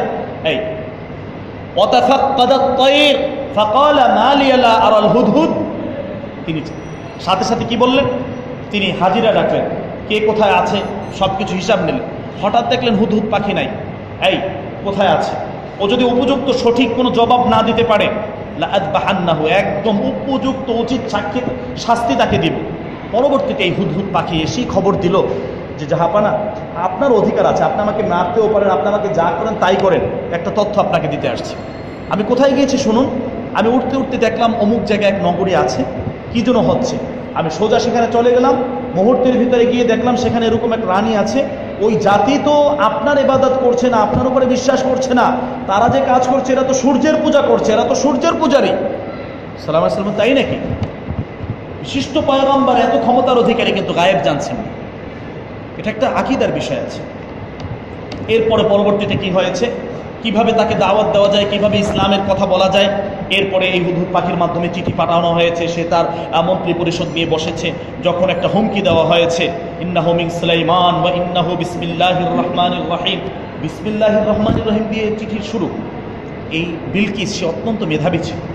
অনেক মেধাবী ছিল। তার মেধার প্রশংসা করতেই হয়। একটা রাষ্ট্র পরিচালনার জন্য যে মেধার প্রয়োজন প্রচুর মেধাবী ছিল। এখানে বেশ কয়েকটা ঘটনা অংশের মাধ্যমে এগুলো বোঝা যায়। তার সিংহাসনটা উঠিয়ে নিয়ে আসা হয়েছে তাকে পরীক্ষার জন্য। একটু ব্যতিক্রমে করে দেওয়া হয়েছে। যখন বলা হয়েছে আচ্ছা বলো তো তোমার সিংহাসন কোনটা? সে উত্তরটি এমন নিরাপদ উত্তর দিয়েছে, সে সরাসরি বলে না যে এটাই আমার সিংহাসন। আবার অস্বীকারও করে না যে এটা আমার না। কারণ দেখতে তারটার মতনই দেখা যায়। আবার একটু পরিবর্তন। মুহূর্তের ভিতরে তার পুরা সিংহাসন সহ উড়িয়ে নিয়ে আসা হয়েছে এই ঘটনা আজকে তেলাওয়াতে আমরা জানতে পারবো কিভাবে শুধু চোখের পলক চোখের পলকের মাধ্যমে সালাইমান আলি সাল্লামের যে ক্ষমতার গুদুল কথা বললাম এই ক্ষমতার ভিতরে এটাও ছিল قال الذي عنده علم من الكتاب أنا آتيك به قبل أن يرتد إليك طرفك পেগম্বর আপনি যেখানে বসা আছেন এখানেই বসুন আল্লাহ আমাকে এমন কিছু ক্ষমতা দিয়েছে এই ক্ষমতাটা কোনো জাদুটোনার ক্ষমতা ছিল না এই ক্ষমতাটা ছিল ইসমে আজমের ক্ষমতা। ইসমে আজম এটা একটা গুরুত্বপূর্ণ, এই উম্মতকে আল্লাহ তালা এটা দিয়েছেন। হাদিসের ভিতরে এসেছে, ইসমে আজমের মাধ্যমে যখন কোনো মানুষ দোয়া করে, ওই দোয়াটি সাথে সাথে আল্লাহ তালা কবুল করে না এই ইসমে আজম এখন এই উম্মতের ভিতরে আছে। ইসমে আজম কি? আল্লাহর বিশেষ একটা নাম। আল্লাহর বিশেষ একটা নাম। কিন্তু এই নাম কোনটা? এই নিরানব্বইটা নামের ভিতরে কোনো একটা নাম অবশ্যই আছে। কিন্তু কোনটা এটা স্পষ্ট আল্লাহ তালা বলেননি। তবে অনেক মহাদ্দিসিন কালাম বলছেন, যেমন আল্লাহ ইলাহা ইল্লাহু হাইয়ুল কাইয়ুম। এটা একটা ইসমে আজমের দোয়া। ওয়া ইলাহুকুম ইলাহু ওয়াহিদ ইলাহা ইল্লাহু রহমানুর রহিম। এটা একটা ইসমে আজমের দোয়া। এই দুইটা অধিকাংশ মহাদ্দিসিনে কালাম বলছেন যে এগুলোর মাধ্যমে দোয়া করলে দোয়া কবুল হয়। এটা ইসমে আজমের বড় একটি বিষয় এখানে ছিল। তো ইসমে আজমের গুণ সম্পন্ন একজন ব্যক্তি তার ওই মন্ত্রণালয়ের ভিতরে ছিল। তিনি বলছেন, জাহাপানা কোনো চিন্তা করবেন না। আপনি শুধু চোখের একটা পলক দিবেন। এই পলকের ভিতরে ওই রানী বিলকিসের সিংহাসন ইয়ামান থেকে একেবারে মুহূর্তের ভিতরে আপনার সামনে আমি হাজির করব। ঠিক তাই হয়েছে। তো বিলকিস যখন এসেছে, এসে দেখে যে তারটার মতনই দেখা যায়। সে উত্তরটা কি দিল? কান না হু হু হ্যাঁ হতে পারে আমারটা এরকমই। কিন্তু সে নিশ্চিতভাবে বলছেন না যে এটাই আমার। যদি মিথ্যা হয়। এরকমভাবে অনেকগুলো বিষয় এখানে ছিল। তো এই রানী বিলকিস তাকে কীভাবে দাওয়াত দেওয়া হয়েছে, সে যখন এই চিঠির ভাষা বুঝলেন, চিঠির ভাষা বুঝিয়ে তিনি টের পেয়েছেন যে এটা আসলে সাধারণ কোনো চিঠি নয়। এরপরে সে পরীক্ষা করলেন যে এ আসলে কোনো বাদশাহ না কোনো নবী। যদি বাদশাহ হয় তাহলে তার সাথে আমি যুদ্ধে নামব। কারণ আমার যে সৈন্যবাহিনী আছে, আমার যে ক্ষমতা আছে, আমি যুদ্ধ করে তার সাথে টিকতে পারব। কিন্তু যদি কোনো পয়গম্বর তিনি হয়ে থাকেন, কোনো নবী হয়ে থাকেন, তাহলে তার সাথে আমি টিকতে পারব না। এজন্য বিভিন্ন পরীক্ষা করছেন। পরীক্ষার ভিতরে অনেক উপটকন পাঠানো হয়েছে। অনেক উপটকন এই মজার ঘটনা আমরা অনেকেই জানি। দেখা যায় হাজার ভরি সোনা তাকে দেওয়া হয়েছে, বিভিন্ন রূপসজ্জা যা পাঠানো হয়েছে, এগুলো বলতে গেলে প্রায় কয়েক ঘণ্টার সময় যে এত এত লিস্ট তাকে দেওয়া হয়েছে। তো এই সংবাদ সোলাইমান আলাইসাল্লাম জেনে গিয়েছেন যে তাকে এই জিনিস হাদিয়াগুলো দেওয়া হচ্ছে। তারা স্বর্ণের অনেকগুলো ইট নিয়ে আসছে, বিভিন্ন ধরনের বিস্কিট আমরা নিয়ে আসি, এরকমভাবে। সোলাইমান আলাইসাল্লাম যখন জানলেন তার আসার যে পথ প্রায় কয়েক কিলোমিটার রাস্তা পুরোটা স্বর্ণে বাঁধিয়ে ফেলেছে। এর দাবি ছিল, যদি সে বাদশা হয়, তাহলে তার ভিতরে লোভ থাকবে। লোভের কারণে যখন এত সম্পদ তাকে দিব, সে আমার সাথে একটা সন্ধি করতে আসবে। আমার সাথে শত্রুতা সে করবে না, তো তাকে আমি কিনে ফেলতে পারব। এইভাবে বিভিন্নভাবে তাকে পরীক্ষা করছে। আবার সে পয়গম্বর কিনা, এটাও আবার পরীক্ষা করছে। ছোটো একটা ডিব্বা দিয়েছে, ডিব্বার ভিতরে কিছু জিনিস ছিল। সে যদি পয়গম্বর হয় তাহলে সে বলতে পারবে। সে যদি বাচ্চা হয় তাহলে বলতে পারবে না না দেখে যে এর ভিতরে কি আছে। তো প্রতিনিধি দলের হাতে এগুলো দেওয়া হয়েছে। এই প্রতিনিধি দল যখন যাচ্ছে, গিয়ে দেখে যে তারা যে জিনিসগুলো নিয়েছে, এর চেয়ে বহু উন্নত মানের জিনিস দ্বারা তার রাস্তাঘাট নির্মিত অবস্থায়, তারা এমনভাবে লজ্জা পেল আস্তাফুল্লাহ আমরা এগুলো নিয়ে বাদশার সামনে কীভাবে হাজিরা দিব? তো দেখা যায় যে এটা তো আরও খারাপ। আবার সালামান আলাইসাল্লাম অনেক বুদ্ধিমান ছিল। ওই ইটগুলো যে করেছে রাস্তা, এর ভিতরে কয়েকটা ইট ফাঁকা রেখেছে। ওরা যে কয়টা নিয়ে এসেছে, ঠিক ওই কয়টা ইট ওখানে ফাঁকা। ওই কয়টি এভাবে ফাঁকা রেখেছে। সালাম সাল্লাম এ কথাও বলতে পারতো যে, এগুলো কি আসলে তোমাদের? আমার ওই জায়গায় তো কয়েকটা ইটের সমস্যা দেখা যাচ্ছে। এগুলো তো এই জায়গায় নাই, খালি খালি দেখা যাচ্ছে। এটা হলো বাদশা বাদশার যে, তাদের যে একটা যুদ্ধ, এই যুদ্ধ বিতর্কতভাবে চলছে। কে কাকে হারাবে? সোলাইমান আলাইসালাম দাওয়াতের নিয়াতে এভাবে। চমৎকার কিছু বিষয় এখানে আছে। তো ওরা করছে ওই জিনিসগুলো ওখানে সুন্দর মতন দিয়ে সাজিয়ে গুজিয়ে, এরপর বাদশার সামনে গিয়ে দাঁড়াচ্ছে। তো শেষ পর্যন্ত যেটা হয়েছে, সোলাইমান আলাইসালাম তো বুঝতে পারছেন যে কি উদ্দেশ্যে আসছে। ওরা শেষ পরীক্ষাটা যখন তাদেরকে করল তখন বুঝতে পারল যে আসলে আসলে কোনো তিনি সাধারণ কোনো বাদশাহ, এটা কোনো কাজ নয়, বরং তিনি একজন পয়গম্বর। তিনি পয়গম্বর কীভাবে হয়েছে অন্য অন্য ভাইদের থেকে তার পয়গম্বারই কীভাবে এসেছে, এটা সম্পর্কে আবার বিস্তারিত আর একটা পার্টের ঘটনা আছে। সালাইমান আল ইসলামের ঘটনাটা পুরোটা পড়লে অনেক মজার একটি ঘটনা, চমৎকার একটি ঘটনা। তো এই ঘটনার বড় একটি অংশই আল্লাহ তাআলা এখানে পড়বেন, এবং এই জায়গার মূল যে দায়িত্ব বা মূল যে বিষয়, এটা হলো সুলাইমান আলাইহিসসালাম তিনি কীভাবে দাওয়াত দিয়েছেন? শেষ পর্যন্ত এই রানী বিলকিস এখানে এসেছে, আত্মসমর্পণ করেছে এবং কি বলেছেন? আসলাম তুমা সুলাইমান আলী রব্বুল আলামিন। এই সুলাইমানের হাত ধরে আমি রব্বুল আলামিনের কাছে আত্মসমর্পণ করলাম, আমি মুসলিম হয়ে গেলাম। এই যে মূল দাওয়াতটা, এই দাওয়াতটা কীভাবে এসেছে? একজন রাষ্ট্রপ্রধানকে কীভাবে দাওয়াত দিতে হয় এবং কি কি কৌশল গ্রহণ করতে হয়? দাওয়াতি কিছু কৌশল আছে, ইচ্ছা করলে, এই মে নামাজ পড়েন, এই মে আসেন। নো, এভাবে কাউকে আনা যাবে না। টার্গেট করতে হবে। আগ থেকে টার্গেট করতে হবে। আজকে আমাদের ভিতরে এই শিক্ষাগুলো নাই। আমার এই সমাজে কতজন লোক আছে? ঠিক আছে, আমার বন্ধুর ভিতরে বিশজন আমার ভালো বেস্ট ফ্রেন্ড আছে। এর ভিতরে আমি পাঁচজনকে টার্গেট করব। টার্গেট করে এদের পিছনে আমি মেহনত করব। আজকে বিধর্মীরা কি করছে? আজকে আহলে হাদিসের ফেতনা এত কেন বাড়ছে? কি করছে তারা? টার্গেট করে করে মানুষদেরকে এভাবে ধোলাই করছে, মস্তিষ্ক ধোলাই করছে। তা আমরা, আমাদের এই সম্পদগুলোকে হাতছাড়া করছি। আজকে কাদিয়ানিরা টার্গেট করে করে তাদের ধর্মের ভিতরে নিচ্ছে। আজকে বিভিন্ন ধরনের শিয়ারা আমার বাংলাদেশের ভিতরে বাংলাদেশের ভিতরে এই শিয়াদের প্রভাব এত বেড়েছে, বহুত ভালো ভালো জায়গায় তাদের অবস্থান এই শিয়াদের। এই তারা কি করছে? টার্গেট করে করে মূল জায়গা। ওই দিন এক জায়গায় গেলাম একটা বাংলাদেশের বড় একটা কোম্পানি এই কোম্পানির মূল এমডি আমরা জানি যে সে ধার্মিক, মুসলমান সব কিছু কিন্তু এমন একটা মহিলাকে বিবাহ করছে যে সে মহিলাটা সম্পূর্ণভাবে শিয়া ধর্মে বিশ্বাস। তাকে বিবাহ করছে। পুরা কোম্পানি সহ এখন টান দিয়েছে ওই ধর্মের দিকে। অথচ সে মুসলিম ছিল, মুসলমানের ভালো একটি সম্পদ ছিল। এইভাবে টার্গেট করে করে এদেরকে ই করা হচ্ছে যে কার মস্তিষ্ক ধোলাই করা যাবে, কার মাধ্যমে আমাদের মিশনগুলো বাস্তবায়ন করা যাবে। তো এই দাওয়াতের কিছু কৌশল আছে। আম- টার্গেট করি আমার বন্ধুদের ভিতরে, ভালো কিছু বন্ধু। দুইজন বন্ধুকে আমি মসজিদে দাওয়াত দিই। যে, দোস্ত আসা ঠিক আছে, তুমি জুমার দিনে মসজিদে আসো। জুমার নামাজটা পড়ো। এইভাবে তার সাথে কিছু আলোচনা করি। কীভাবে সে বুঝে তার ভাষাটাকে বোঝানোর জন্য চেষ্টা করি? আমরা বন্ধু বান্ধবের সাথে অনেক সময় দেই, কিন্তু আসলে টার্গেট নিয়ে তাকে একটু দাওয়াত দেওয়া, তাকে ইসলামের কথা বলা, কোরআনের কথা বলা, এভাবে আমরা করছি না। করলে আমাদের সমাজের অবস্থার অনেক পরিবর্তন হতো। আজকে আমাদের যুবক মসজিদের ভিতরে আসছে না। যুবকদেরকে টার্গেট করে বিশেষ করে আমাদের এই দাওয়াতের লাইনে এভাবে কাজ করা উচিত।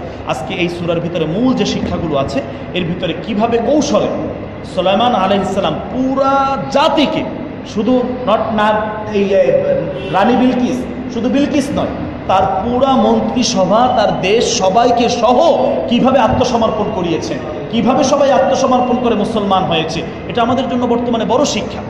আজকে একজন মুসলিম, সে মুসলমান ধর্ম থেকে অন্যদিকে চলে যাচ্ছে। অথচ উচিত ছিল অন্য মানুষগুলোকে দাওয়াত দিয়ে ইসলামের সৌন্দর্য বুঝিয়ে আমরা ইসলামের দিকে আনব। এই সুরার ভিতরে আজকে শিক্ষা আমরা এভাবে পাচ্ছি। তো যাই হোক, এভাবে মূল মূল গুরুত্বপূর্ণ কিছু আলোচনা আল্লাহ তালা এখানে করছেন। এরপরে শেষ দিকে এসে কৌমিলুদ সম্পর্কে আল্লাহ তালা আলোচনা করেছে কীভাবে কৌমিলুদ ধ্বংস হয়েছে? কৌমিলুতের সেই ধ্বংসের কারণ আল্লাহ তালা বর্ণনা করে সর্বশেষ একটা প্রশ্ন করেছেন। প্রশ্নের মাধ্যমে এই আয়াত আল্লাহ তালা শেষ করছেন। আল্লাহ সুবহানাহু ওয়া তাআলা এই উনষাট নং আয়াতে এখানে আজকে আমাদের এখানে শেষ হবে। উনষাট নং আয়াত সুরাতুল নাম এই জায়গায় আল্লাহ তালা বলছেন, বরং চূড়ান্ত তোমাদের কি করণীয় দায়িত্ব কি? উল আলহামদুলিল্লাহ, তোমাদের দায়িত্ব হলো আল্লাহ তাআলার প্রশংসা করা। ও সালামুন আলা ইবাদিহিল্লাদিন আস্তাফা। আল্লাহু খায়রুন আম্মা ইউশরিকুন। আল্লাহ তালা সর্বশেষ এই প্রশ্ন করলেন, দেখো, তোমাদের জন্য আল্লাহ উত্তম, নাকি যে শিরিকের দিকে তোমরা আছো, যে মূর্তি পূজার দিকে তোমরা আছো, এই মূর্তিগুলো তোমাদের জন্য কল্যাণকর? আল্লাহ তালা এই প্রশ্ন ছুড়ে দিলেন, আল্লাহ খৈরুন আল্লাহ তোমাদের জন্য উত্তম, কল্যাণকর, মঙ্গলজনক, নাকি এই মূর্তি বা যাদের তোমরা মানছ, এরা তোমাদের জন্য কল্যাণকর? এক কথায় একজন মুসলমানের উত্তর হবে আল্লাহ আমাদের জন্য উত্তম আল্লাহ আমাদের জন্য উত্তম অভিভাবক। কারণ আল্লাহ যে উত্তম, এই আলোচনাগুলোই কিন্তু এতক্ষণ করা হয়েছে। আল্লাহর বরত্ব, আল্লাহর রহস্য, সৃষ্টি জগতের এত কিছু, সব কিছুর পরে আল্লাহ তালা এই প্রশ্নটা ছড়লেন। এখন তুমি একদম নিরপেক্ষ দৃষ্টিতে স্বাভাবিকভাবে মেডেলে এসে তুমি এখন বলো, তুমি এখন সিদ্ধান্ত দাও তোমার জন্য কে বেশি উত্তম? এই প্রশ্নটি আল্লাহ তালা আজকে আমাদেরকে করে এর মাধ্যমে আজকে আমাদের তেলাওয়াতটা শেষ হবে যাই হোক আল্লাহ তালা এই কথাগুলোর পর আমাদেরকে আমল করার তৌফিক দান করুন আজকের মতো এখানে একটু সময় বেশি হয়েছে ওয়াখরুদ আওয়ান আলহামদুলিল্লাহ রবিল আলমিন দুরুদ শরীফ আল্লাহুম্মা সাল্লি আলা সাইয়্যিদিনা ওয়া নাবিয়িনা وشفيعنا وحبيب